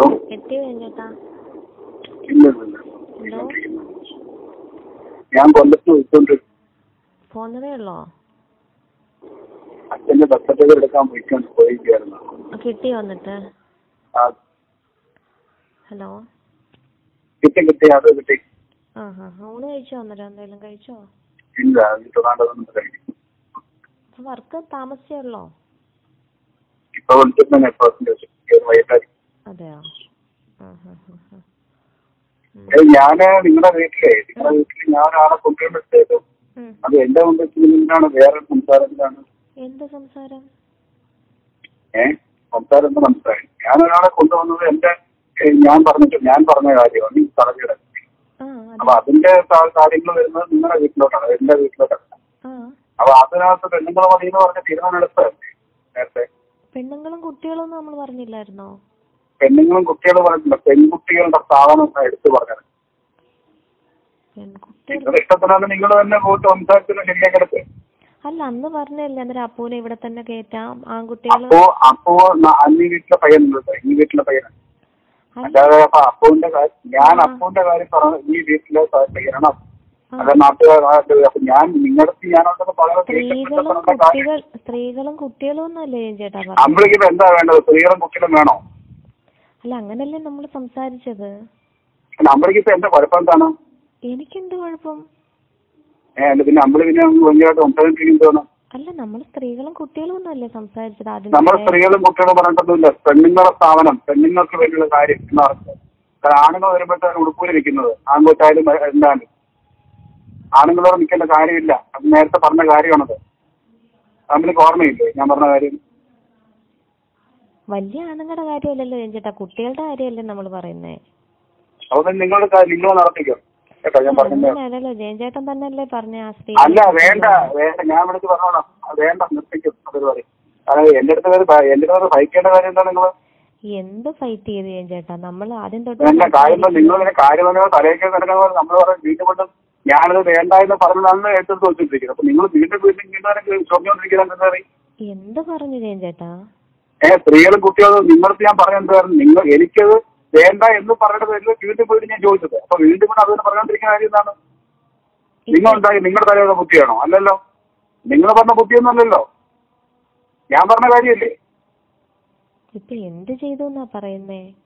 അല്ല ഞാനിപ്പോ ഞാൻ നിങ്ങൾ ചോദിച്ചത് അത് തന്നെയാണ്. ഞാൻ നിങ്ങളത് പറഞ്ഞില്ല. അത് വേണ്ട എന്ന് പറഞ്ഞു. ഇത് വീണ്ടും വീണ്ടും അത് പറഞ്ഞോണ്ടിരിക്കുന്ന കാര്യം എന്താണ്? വീണ്ടും വീണ്ടും ഇപ്പൊ പറഞ്ഞു. അല്ല അമ്പിളി ഇപ്പൊ അമ്പിളി എന്റെ അടുത്ത് സംസാരിക്കാൻ വരുവാണോ? എന്നെ- മോളെ എടി നീ എന്തിനാ ഇത് എന്തെങ്കിലും ഉണ്ടാക്കാൻ വരുന്നുണ്ട് നീ എന്റെ കയറിയിട്ട് എടി. നീ എന്ത് എന്തെങ്കിലും എന്റെ ഉണ്ടാക്കാൻ വരുന്നത് നീ ആരെ ആരെ നീ ഏതാണ് എന്ത് ഫൈറ്റ് ചെയ്യാൻ വരുന്നത്? ഞാൻ എടി. എന്തിനെങ്കിലും വന്നോ ജയൻ ചേട്ടാ. എടി നീ ആരെ കണ്ടിട്ട് നീ എന്നെ നീ ഏതാ ഏത് ഉണ്ടാക്കാൻ വരുന്നത് നീ വാട്സപ്പിനകത്ത് ഫേസ്ബുക്കിനകത്ത് ഏത് എല്ലാവരും കോൺസെൻട്രിക്കാണോ നീ? എല്ലാം പറയാൻ കൊണ്ടാക്കി തരാമെന്ന് എടി. എന്ത് വിചാരിക്കും എന്നെ കുറിച്ച്? നിന്നോട് ഞാൻ പറഞ്ഞോണ്ടിരിക്കുമ്പോ നീ തോന്നിക്കാൻ നടക്കണം വീണ്ടും വീണ്ടും? എടി നിന്നോട് നിനക്കത് അത് വേണ്ട എന്ന് പറഞ്ഞതിന്റെ പേരിൽ ഞാൻ വീണ്ടും ചോദിച്ചോട്ടെ നീ പിള്ളേരും കുട്ടികളും അപ്പവും കുപ്പും നിന്നോട് പറയാ നിന്നോട് പറഞ്ഞു വേണ്ട എന്നേ പറഞ്ഞു പെണ്ണുങ്ങളെ സ്ഥാപനം എന്നാ പറയാൻ നിന്നെ കഞ്ചാവല്ലേ എന്തിനെ കുറിച്ച് വിചാരിക്കുന്നു അയക്കാൻ പോട്ടെ കേട്ടല്ല നീ തൊലിക്കാൻ എടുത്തായിട്ട് നീ തൊലിക്കാൻ പറ്റുന്നോ നീ എന്നെ ക്വസ്റ്റ്യൻ ചെയ്തു നീ എന്തോ അഞ്ഞൂറ് നീ ഷോ കാണിക്കുന്നത്? വേണ്ടി? ഏതൊരു നിന്റെ വീട് മൊത്തം നീ നിന്റെ നിന്റെ തന്ത കത്തോടി ഏ? നീ ഏതോ വേണ്ടി എന്റെ ഞാൻ വരുന്ന മുറിച്ചത് എന്തൊരു അഭ്യാസം കാണിക്കുന്നത് എന്ത് കാണും? നിനക്കിട്ട് എന്റെ നീ നിനക്കുണ്ടല്ലോ. വേണ്ടെങ്കിൽ വേണ്ടെന്ന് പറഞ്ഞാൽ മതി. നിന്റെ വീട്ടിൽ കിടക്കാൻ ഞാൻ എടുക്കുന്നില്ല. മനസ്സിലായില്ലേ? ഞാൻ എന്തെങ്കിലും പറയുന്നു ജയൻ ചേട്ടാ പറഞ്ഞ മനസ്സിലായില്ലേ നിന്റെ വീട്ടിൽ കിടക്കാൻ ആദ്യത്തെ വരുത്തുന്നില്ല ഒരു നിന്റെ വീട്ടിൽ കിടക്കാനായിട്ട് എനിക്ക്. പറഞ്ഞ നീ എന്തെന്ന് ആലോചിക്കാൻ വരല്ലേ ഞാൻ എന്തെങ്കിലും പറഞ്ഞു ജയൻ ചേട്ടാ ഈ മനസ്സിലായില്ല നിനക്ക് എന്നെ അറിയാത്തോണ്ടാണ് മര്യാദക്കാണ് ഞാൻ മര്യാദയ്ക്ക് വിടുന്നൊരാളാ എന്റെ തോളൊക്കെ നിറഞ്ഞു വരില്ലേ? നിന്റെ സ്വസ്ഥയം കളയും. ഞാൻ എന്ത് ചെയ്തു ചേട്ടാ? പറഞ്ഞ മനസ്സിലായില്ല ഞാൻ ഒരു കാര്യം പറയേണ്ടത് നിന്റെ പൂ ആ പന്ന ലോവൽ ആ നിന്നെ മുന്നിക്കൊണ്ടിരുന്നത്? ഞാൻ പറഞ്ഞ കാര്യങ്ങൾ എന്റെ ബുദ്ധി വന്ന കാര്യങ്ങൾ ഞാൻ സംസാരിക്കുമ്പോഴത്തേക്കും എന്റെ പേർക്ക് നിന്റെ അമ്മയും കൂടി നീ എന്താ നീ ഗർഭിണിയാണ് എന്നിട്ട് ഞാൻ ഉണ്ടാക്കണ ഏതാ ഗർഭിണിയാവും നീ. ഈ പെണ്ണ എന്റെ പേരിൽ. ഈ ലോകത്തെ ഫസ്റ്റ് ഗർഭം നിന്റെ നല്ലല്ലോ ഇത്ര നിന്റെ നിന്റെ നാട്ടിൽ ഒന്ന് എന്നെടുത്ത് കാണിക്കല്ലേ കേട്ടോ? നിന്റെ അഭിനകളൊക്കെ നീ കാണിക്കേണ്ടത് മറ്റില്ല അവരോടൊക്കെയാ നിന്റെ മുൻ ഭർത്താവിനടുത്തും കാമുകടുത്തും എന്നോട് കാണിക്കാൻ വരെ എടുത്തി എന്നോട് കൊരിയും കാണിക്കാൻ വരല്ലേ? പ്രഗ്നന്റ് കുറേ ഉണ്ട് കേട്ടോ. ഞാൻ എന്റെ അമ്മ.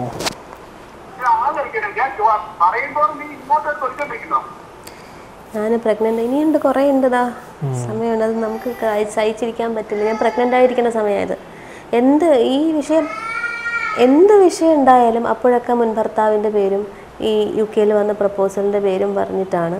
ഞാൻ ആ സമയം ലോലുമായിട്ട് സംസാരിച്ചുകൊണ്ടിരിക്കുകയാണെന്നൊക്കെയാണ് പറയുന്നത് അങ്ങനെ ഇത് ഇത് ഒരുപാട് സഹിച്ച് സഹിച്ച് സഹിച്ച് എന്നിട്ടും നമ്മൾ കുടുംബമല്ലേ? എന്നുള്ളത് അഡ്ജസ്റ്റ് ചെയ്ത് പോവുക ഇതൊക്കെ പ്രശ്നങ്ങൾ ഉണ്ടാക്കി കഴിഞ്ഞിട്ടും പിന്നീട് വന്ന് കാൽ പിടിച്ച് എന്റെ അല്ല കേട്ടോ എന്റെ അമ്മയുടെ കാര്യം. അത് പറയാനൊരു കാര്യമുണ്ട്.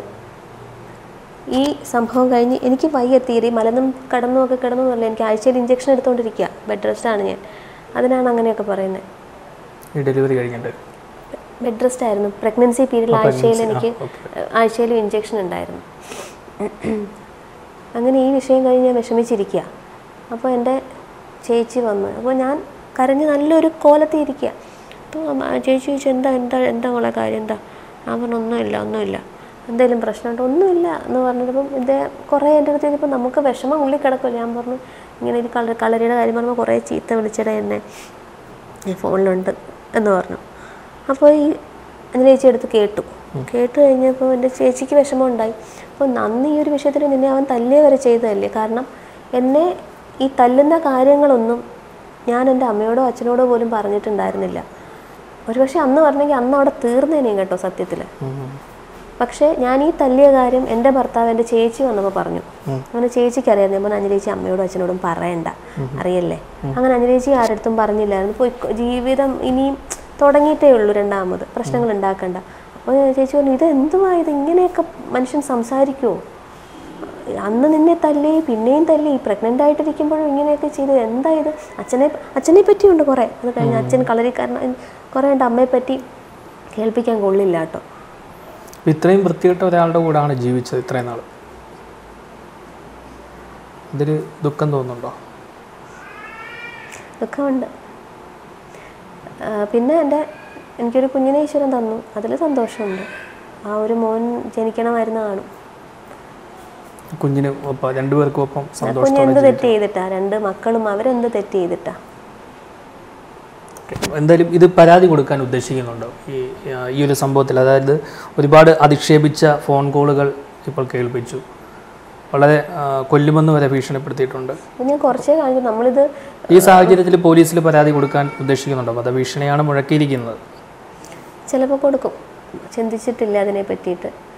ഇങ്ങനെയാണ് പോകുന്നതെന്നുണ്ടെങ്കിൽ ആലോചിച്ചിട്ട് തീരുമാനമെടുക്കും.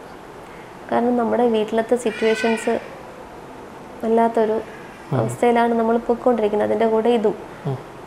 എല്ലാ തരത്തിലും നല്ല വിഷമത്തിലാണ് പൊയ്ക്കൊണ്ടിരിക്കുന്നത്. ഒരുപാട് പേരുടെ പിന്തുണ ലഭിക്കുന്നുണ്ടോ ഇപ്പം? തീർച്ചയായും തീർച്ചയായും. പറയാതിരിക്കാൻ വയ്യ. പലരുടെയും കോൾ എനിക്ക് എടുക്കാൻ പറ്റുന്നില്ല. മെസ്സേജ് റിപ്ലൈ ചെയ്യാൻ പറ്റുന്നില്ല. ഒരുപാട് ആൾക്കാർ എന്ത് ഹെൽപ്പ് വേണമെങ്കിലും.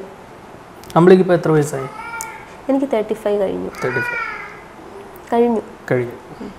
ഈ- ഒരു ഓഡിയോ എന്ന് പറയുന്നത് ഈ പെൺകു എന്റെ ഭർത്താവ് ഇവിടെ വന്നിരുന്നല്ലോ ഇരുപത്തി മൂന്നാം തീയതി വന്നിരുന്നു. ജസ്റ്റ് ഒന്ന് പ്ലേ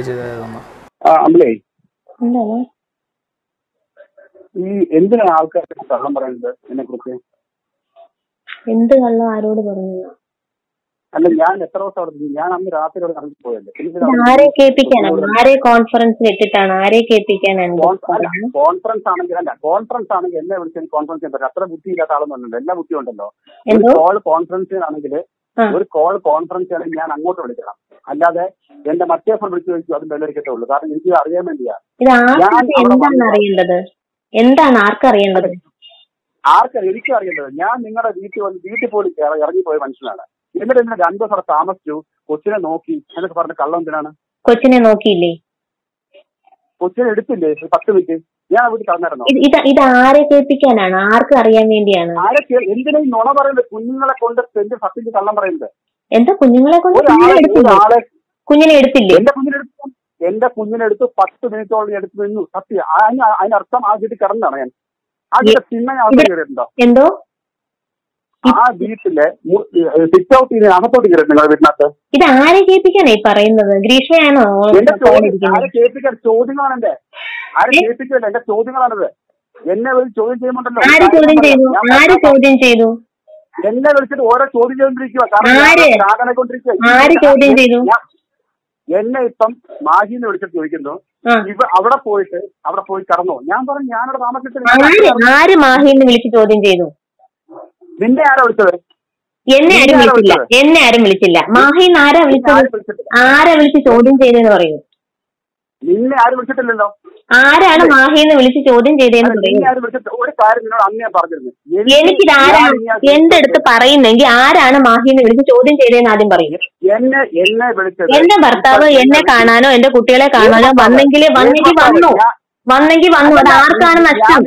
അത് ആർക്കാണ് നഷ്ടം? ഞാൻ നിന്നെ കാണാൻ വന്നേല്ല നിന്നെ കാണാൻ വന്നേല്ല നിന്റെ കാറ് വരെ നിന്നെ കാണാൻ വന്നേല്ല ആരെ കാണാൻ വന്നാലും വന്നില്ലെങ്കിൽ ആർക്കാണ് നഷ്ടം? ആർക്കാണ് അറിയേണ്ടത്? നിന്നോ നിന്നോട് ഞാൻ പറഞ്ഞിരുന്നു നിന്റെ വീട്ടിലേക്ക് ഇനി ഞാൻ വരില്ല എന്ന് പറഞ്ഞിരുന്നു. ഇല്ലാത്ത കാരണം മേലിൽ പറയില്ലേ പറയുക ആർക്കാണ് അറിയേണ്ടത്? ഇത് ആർക്കാണ് ഇത്ര ബുദ്ധിമുട്ട്? ഒരു കാര്യം ഞാൻ പറയാം. എന്നെ നോക്കി ഒരു വ്യക്തിയാ. നല്ലോണം നോക്കി വെച്ച് നിന്നെ പോലല്ല എന്നെ നോക്കി ആ വെച്ചിയാ. അപ്പൊ ഗ്രീഷ്മയാണ് അപ്പൊ ഗ്രീഷ്മ തന്നെയാണ്. കേസ് ഞാൻ അപ്പൊ ഗ്രീഷ്മ തന്നെയാണ്. ഗ്രീഷ്മ ഗ്രീഷ്മയെ പറയുന്നുണ്ട് അവളുടെ ഭർത്താവ് പറയുന്നുണ്ട്. എന്ത് പറയുന്നുണ്ട്. എന്ത്? എന്ത് എന്തിനാ കള്ളം പറഞ്ഞു? അല്ല ഞാൻ ചോദിക്കട്ടെ. എന്റെ ഭർത്താവ് ഇവിടെ ഇവിടെ വന്നെങ്കിൽ അവർക്ക് എന്താണ് കുഴപ്പം? അവർക്ക് എന്താണ് കുഴപ്പം? എനിക്ക് അതാണ് അറിയേണ്ടത്. എനിക്ക് ഒരുപാട് ഭർത്താക്കന്മാരൊന്നുമില്ല. സ്വന്തം ഭർത്താവിനെ തിരിഞ്ഞൊക്കെ നീ ആയിട്ട് ഭർത്താവ് പറയുന്നത് ഹലോ, ഹലോ. നോവലിന്റെ ജീവിതം നശിപ്പിച്ചു ആയിക്കോട്ടെ. ഞാൻ എല്ലാവരുടെയും ജീവിതം നശിപ്പിച്ചു എന്തായാലും കൂടെ കിടക്കാൻ പോയില്ലോ എന്റെ നേരിൽ പറയുക. എന്റെ കാര്യങ്ങൾ നീ സംസാരിക്കണ്ട. കാരണം നിന്റെ ആരുമല്ല ഞാൻ. ഇവിടെ നിർത്തൂ ഞാൻ. ആരാണ്ടെ കേൾപ്പിക്കാൻ അവളെ കേൾപ്പിക്കാനായിരിക്കും. ഇപ്പൊ വരും അവൾ. ഒരുത്തെ ഗരുത്തും കേൾപ്പിക്കാനില്ല ഞാൻ പറഞ്ഞു നീ നീ ഉപദ്രവിച്ചാൽ നീ ഇത്രയും ഞാൻ ഇപ്പൊ ഇപ്പം നമ്മൾ കേട്ട ഓഡിയോ ഇതിൽ കള്ളം പറഞ്ഞു എന്ന് പറയുന്ന ഒരു കാര്യമുണ്ടല്ലോ. അതൊരു കള്ളം ഞാൻ പറഞ്ഞതാ. അത് വേറൊന്നിനുമല്ല ഈ ഗ്രീഷ്മ ആദ്യം തൊട്ട് ഞാൻ ഇവരുടെ അടുത്ത് പറയുന്നുണ്ട് നിങ്ങൾ എന്റെ ഭർത്താവിനെ ഇനി വിളിക്കരുത്. എന്തെങ്കിലും നിങ്ങൾക്ക് സംശയങ്ങളുണ്ടെങ്കിൽ നമുക്ക് എല്ലാവർക്കും ഇരുന്ന് സംസാരിക്കാം. അല്ലാതെ അങ്ങോട്ടും ഇങ്ങോട്ടും വിളിച്ച് നിങ്ങൾ ബ്ലോക്ക് ചെയ്യും പിന്നെ വീണ്ടും അൺബ്ലോക്ക് ചെയ്തിട്ട് അദ്ദേഹമായിട്ട് സംസാരിക്കുന്നുണ്ട്. അതിന്റെ തെളിവ് തന്നെയാണല്ലോ ഹോസ്പിറ്റലിൽ കിടന്നപ്പോൾ കൂട്ടുപോയിരുന്നതല്ല. ഇവർ ഞാൻ ഇന്നൊരു വീഡിയോയിൽ പറയുന്നുണ്ട് ഞാൻ നിങ്ങളുടെ ഭർത്താവുമായിട്ട് ഒരു ബന്ധത്തിനും വരില്ല എന്ന് പറഞ്ഞില്ലേ? പക്ഷേ അങ്ങനെയുള്ള വ്യക്തി പിന്നെ ഇതൊക്കെ എങ്ങനെ അറിഞ്ഞു? അപ്പോൾ ഈ സംഭവം അതായത് ഇവർ തമ്മിൽ വീണ്ടും കമ്മ്യൂണിക്കേഷൻ ഉണ്ടോ എന്ന് എനിക്കൊന്ന് സത്യം പറഞ്ഞാൽ അറിയണമെന്നോട് ഭാര്യ എന്ന നിലയിൽ എനിക്ക് ആഗ്രഹം ഉണ്ടായിരുന്നു. അങ്ങനെ ഇവരുടെ വീട്ടിൽ നിന്ന് വിളിച്ചപ്പോൾ നിങ്ങൾ ഡിവോഴ്സിന് എങ്ങാനും പോകുന്നുണ്ടോ? എന്നൊക്കെയുള്ള ഒരു എൻക്വയറി ആയിരുന്നു. ഞാൻ പറഞ്ഞു ഇല്ല ആദ്യത്തെ ഡിവോഴ്സിന്റെ കാര്യം വല്ലതും പറഞ്ഞോന്നു. ഞാൻ പറഞ്ഞു ഇല്ല പറഞ്ഞിട്ടില്ല. ഡിവോഴ്സ് എന്ന് പറയുന്ന ഒരു കാര്യമേ പറഞ്ഞിട്ടില്ല. അദ്ദേഹം രണ്ടു ദിവസം മുമ്പ് വന്നിരുന്നു. ഇവിടെ ഉണ്ടായിരുന്നു എന്ന് പറഞ്ഞു. അത്രേ ഞാൻ പറഞ്ഞുണ്ടായിരുന്നുള്ളൂ. ഇത് കഴിഞ്ഞപ്പോഴേക്കുമാണ് ഈ ഒരു കോൾ വന്നത്. നീ കള്ളം പറഞ്ഞു. അപ്പം ഞാൻ ഈ പറഞ്ഞ കാര്യം ഈ സ്ത്രീ എങ്ങനെ പറഞ്ഞു അവർ തമ്മിൽ കമ്മ്യൂണിക്കേറ്റ് ചെയ്തുകൊണ്ടല്ലേ? അല്ലെങ്കിൽ തന്നെ ഭർത്താവ് ഭാര്യയെ കാണാൻ വന്നാൽ അതിൽ എന്ത് തെറ്റാന്നുള്ളത് അവർക്ക് ഇത്ര വിഷമിക്കാനുള്ള കാര്യം എന്താണ്? അതിൽ കള്ളത്തരമുണ്ട് എന്നുള്ളത് കൊണ്ടാണ്. ആ വെറും ഒരു ഫ്രണ്ട്ഷിപ്പ് ആണെങ്കിൽ ഇതിന്റെയൊക്കെ ആവശ്യമുണ്ടോ? അദ്ദേഹം പറഞ്ഞ് സൗഹൃദമാണെന്ന്. സൗഹൃദം മാത്രം ഞാൻ വെറുതെ പറയുന്നതാണെന്നാണ് പറയുന്നത് പിന്നെ ഒരു കാര്യം കൂടി ഈ കുട്ടിയുടെ പേരൻസ് എല്ലാം ഉണ്ട്. ഞാൻ നമ്പർ തരാം. ഈ കുട്ടിയുടെ അച്ഛനെ വിളിച്ച് സംസാരിക്കും എന്തൊക്കെയാണ് നടന്നതെന്ന്. ഈ കുട്ടിയെ ഹോസ്പിറ്റലിൽ അഡ്മിറ്റ് ചെയ്തിട്ട് അവിടുന്ന് ഈ കുട്ടി ഏപ്രിൽ ഒന്നാം തീയതി ചാടിപ്പോയതാണ്. അതിന് അഡ്വക്കേറ്റിന്റെ ഹെൽപ്പൊക്കെ ചെയ്തു കൊടുത്തത് എന്റെ ഭർത്താവാണ്. എന്നോട് പറഞ്ഞതാ. അല്ല എല്ലാം കൂടെ നമുക്ക് ഈ ഓഡിയോ കേൾപ്പിക്കാൻ ഒരു ദിവസം ഒന്നും തീരത്തില്ല. അതുകൊണ്ടാണ്. അപ്പോൾ ഞാൻ ചോദിച്ചു എന്തിനാണ് അവരെ ഹെൽപ്പ് ചെയ്യുന്നത് അത് എന്നോട് ചോദിച്ച ഹെൽപ്പല്ലേ ഞാൻ ചെയ്തു കൊടുത്തു. അപ്പോൾ ഈ കലാകാലങ്ങൾ ഇവർ കമ്മ്യൂണിക്കേഷൻ ഇല്ല എന്ന് പറഞ്ഞാൽ ഈ ദിവസങ്ങളിലെല്ലാം കമ്മ്യൂണിക്കേറ്റ് ചെയ്തുകൊണ്ട് തന്നെ ഇരിക്കും. ഇനി അവർ കമ്മ്യൂണിക്കേറ്റ് ചെയ്യുകയോ ജീവിക്കുകയോ എന്തോ ആയിക്കോട്ടെ. എനിക്കിനി ഇതുമായിട്ട് യാതൊരു ബന്ധങ്ങളും ഇല്ല. ഒരു തടസ്സവും ഇല്ല. ഒരു തടസ്സവും ഇല്ല ഈശ്വരൻ. എനിക്ക് ലാസ്റ്റ് വരെയും എനിക്ക് തിരിച്ച് കിട്ടണം തിരിച്ച് എങ്ങനെയെങ്കിലും പിടിക്കാം. അദ്ദേഹത്തിന്റെ സത്യങ്ങൾ മനസ്സിലാകും. ചില കാര്യങ്ങൾ മാത്രമല്ലല്ലോ ജീവിതത്തിൽ പ്രധാനം. സൗന്ദര്യവും ആരോഗ്യവും. അദ്ദേഹത്തിന്റെ അദ്ദേഹം പറയുന്ന ഭാഷ നമുക്ക് പറയാൻ പറ്റില്ല. പലതും ഇല്ലാതാവുന്ന ഒരു കാലം ഉണ്ടാവും. അപ്പോൾ ഇതൊക്കെ തിരിച്ച് ചിന്തിക്കും. ചിന്തിപ്പിക്കാതിരിക്കില്ല. അദ്ദേഹം ഉറങ്ങാൻ കിടക്കുന്നതിന് മുമ്പ് എപ്പോഴെങ്കിലുമൊക്കെ ഈ പറഞ്ഞ വാക്കുകൾ എന്നെപ്പറ്റി ഈ പറഞ്ഞുകൊണ്ടിരിക്കുന്ന കാര്യങ്ങൾ എപ്പോഴെങ്കിലും അദ്ദേഹം ഓർത്താൽ നല്ലതായിരുന്നു. ആയിരുന്നു. നല്ലതായിരുന്നു. അപ്പം ഈ പിന്തുണ നൽകിയവരെ അവരോട് എന്താണ് പറയാനുള്ളത്? ഒരുപാട് ഒരുപാട് നന്ദി. അല്ലാതെ എന്താ പറയുക വളരെ ഡൗൺ ആയിരുന്നു. ഇതിൽ പറയേണ്ട കലചേച്ചി കല സൈക്കോളജിസ്റ്റ് കലചേച്ചി ഒരുപാട് എന്നെ സപ്പോർട്ട് ചെയ്ത് തളർന്നു പോകരുത്. അതുപോലെ എന്റെ ഫാമിലി അംഗങ്ങൾ നമുക്കെല്ലാം അറിഞ്ഞുകൂടെ നിന്നെ. അച്ഛൻ അമ്മ ബന്ധുക്കൾ ഈ അടുത്ത ദിവസങ്ങളിലായിട്ട് എന്റെ വലിയ ഹോസ്പിറ്റലിൽ നിന്ന് വന്ന സമയം തൊട്ട് ഒരുപാട് ആൾക്കാർ വരുന്നുണ്ട് ഇവിടെ. അപ്പോൾ ഈ വിഷയങ്ങൾ അറിഞ്ഞപ്പോൾ തൊട്ട് എല്ലാവരും ഞങ്ങളല്ലേ കൂടെ? അതുപോലെ എന്റെ ഡാൻസ് സ്കൂൾസിലെ കുട്ടികളുടെ പേരൻസ് ഞങ്ങൾക്കറിയാലോ ടീച്ചറിനെ. എന്താണെന്ന് ഞങ്ങൾക്കറിയാം. അതുപോലെ നാട്ടുകാരാണെങ്കിലും അറിഞ്ഞ എല്ലാവരും പറയുന്നുണ്ട്. അപ്പോൾ അത് പിന്നെ ഞാൻ ഒരു മോശം സ്ത്രീയാണെങ്കിൽ ആയിക്കോട്ടെ. ആയിക്കോട്ടെ. പക്ഷേ ഞാൻ പറഞ്ഞു നേരത്തെയും ഇന്റർവ്യൂവിൽ പറഞ്ഞതാണ്. ഒരേ സമയം പല ആൾക്കാരുമായിട്ട് ഞാൻ ചാറ്റ് ചെയ്തു എന്ന് പറഞ്ഞു. അതിന്റെ തെളിവ് എനിക്ക് കിട്ടണം. അത് ഇദ്ദേഹം ഇദ്ദേഹം തരട്ടെ. ഇദ്ദേഹത്തിന്റെ കയ്യിലുണ്ടെന്നല്ലേ പറഞ്ഞത്. എന്റെ ഭർത്താവിനെ ഞങ്ങ ഞങ്ങളുടെ കല്യാണം കഴിഞ്ഞതിന് ശേഷം. അതിന് മുന്നിലത്തെ കാര്യമല്ല പറയുന്നത് ഇദ്ദേഹം പ്രപ്പോസ് ചെയ്തിട്ടുണ്ട് ഞാൻ സംസാരിച്ചിട്ടുണ്ട്. ഇതെല്ലാം സത്യമായ കാര്യങ്ങളാണ് എന്റെ വൃത്തികെട്ട ഫോട്ടോസ് വീഡിയോസ് എന്തെങ്കിലും ഉണ്ടെങ്കിൽ ഞാൻ അയച്ചു കൊടുത്തതായിട്ടുണ്ടെങ്കിൽ അത് അത് എന്റെ മുഖം എനിക്ക് കാണണം. അതൊരു കാര്യം. കല്യാണം കഴിഞ്ഞതിന് ശേഷം ഈ പറയുന്ന എന്റെ എക്സ് ഹസ്ബൻഡുമായിട്ടോ കുറേ പേരുകൾ ഇതിനകത്ത് പറയുന്നുണ്ടല്ലോ. അതിന് ഞാൻ എവിടെ വരാനും തയ്യാറാണ്. എവിടെ വന്ന് ഇത് തെളിയിക്കാനും ഞാൻ തയ്യാറാണ്. ഞാൻ ഒരു സമയം കല്യാണം കഴിഞ്ഞതിന് ഈ ജനുവരി ഇരുപത്തഞ്ചിന് ശേഷം ഞാൻ ആരോടെങ്കിലും ചാറ്റ് ചെയ്തിട്ടുണ്ടെങ്കിൽ സംസാരിച്ചിട്ടുണ്ടെങ്കിൽ വീഡിയോ കോൾ ചെയ്തിട്ടുണ്ടെങ്കിൽ അതിന് വ്യക്തമായ തെളിവ് ഇദ്ദേഹം എനിക്ക് തന്നേ പറ്റൂ. പക്ഷേ ഇപ്പോൾ എനിക്കൊരു ഡൗട്ടുണ്ട്. കാര്യം എൽ- പല സ്ത്രീകളും കുറേ ദിവസങ്ങൾ കൊണ്ട് എന്നെ വിളിക്കുന്നുണ്ട്. പലരെയും വിവാഹ വാഗ്ദാനം നൽകി ലക്ഷങ്ങൾ കവർന്നെന്നും. നമ്മുടെ അതിനെപ്പറ്റി ഞാൻ സംസാരിക്കുന്നില്ല. കാരണം അതവിടെ ഞാൻ എല്ലാ പറയുന്നത് എനിക്ക് സാമ്പത്തിക സാമ്പത്തികത്തോട് ആർത്തിയുള്ള ഒരു വ്യക്തിയാണെന്നാണ് ഞാൻ. സാമ്പത്തികത്തോട് ആർത്തിയുള്ള വ്യക്തിയാണെങ്കിൽ എന്റെ ആദ്യ വിവാഹ ഡിവോഴ്സ് ആയി കഴിഞ്ഞതിന് ശേഷം ഒരു രൂപ പോലും ഞാൻ നഷ്ടപരിഹാരം വാങ്ങിയിട്ടില്ല. ഒന്നും എനിക്കും ചെലവിന് തരണമെന്ന് ഞാൻ പറഞ്ഞിട്ടില്ല. അങ്ങനെ ഒരു വിവാഹമോചനം നേടിയ മാന്യമായിട്ട് വിവാഹമോചനം നേടിയ വ്യക്തിയാണ് ഞാൻ. സാമ്പത്തികത്തെ കുറിച്ച് ഞാൻ മെൻഷൻ ചെയ്യുന്നില്ല. പലരും ഇതുപോലെ സാമ്പത്തികമായി ഇതിന്റെ ഇടയ്ക്ക് പല സ്ത്രീകളും വിളിച്ചു. ഗുരുവായൂർ ഒരു സ്ത്രീ ഞാൻ പേര് പറയുന്നില്ല. ഗുരുവായൂരിൽ നിന്ന് വിളിച്ചു. അയ്യന്തോൾ പോലീസ് സ്റ്റേഷനിൽ ഒരു കേസുണ്ട്. അന്വേഷിച്ചാൽ നിങ്ങൾക്ക് അറിയാൻ പറ്റും. ഒരു സ്ത്രീ അതും ഒരു സ്ത്രീയാണ് സ്ത്രീയിൽ നിന്ന് രണ്ട് ലക്ഷമാണോ രണ്ട് ലക്ഷമാണോ എനിക്ക് വ്യക്തമായിട്ട് അറിയില്ല. ഇവിടെ ഒരു പെറ്റീഷൻ പേപ്പർ വന്നു. അതിന്റെ കേസ് ചവറ പോലീസ് സ്റ്റേഷനിലൊക്കെ പോയിരുന്നു. പിന്നെ അവിടെ മാസം മാസം എത്രയോ രൂപ അടയ്ക്കാമെന്ന് പറഞ്ഞ് അത് ഒത്തുതീർപ്പാക്കി. പലരിൽ നിന്നും ഈ രണ്ട് രണ്ട് മൂന്ന് ദിവസം കൊണ്ട് എനിക്ക് പല കോൾസും വരുന്നുണ്ട്. പക്ഷേ ഇവർക്ക് ഇത് പുറത്ത് പറയാൻ പേടിയാണ്. കാരണം ഇദ്ദേഹത്തിന്റെ ഭീഷണി. മാത്രമല്ല പല പെൺകുട്ടികളുടെയും ഫോട്ടോസ് പ്രൈവറ്റ് ഫോട്ടോസും വീഡിയോസും ഈ ഗ്രീഷ്മയുടേതടക്കം ഇദ്ദേഹത്തിന്റെ കയ്യിലുണ്ട്. അത് പുറത്തു വിടും എന്നുള്ളതാണ് ഇദ്ദേഹത്തിന്റെ ഭീഷണി. അത് ഭയന്ന് മാത്രമാണ് പലരും രംഗത്ത് വരാത്ത എനിക്ക് അതുകൊണ്ട് പേര് നമുക്ക് ഒരാളുടെ കുടുംബജീവിതം നശിപ്പിച്ചിട്ട് നമുക്ക് ഒന്നും നേടാനില്ല.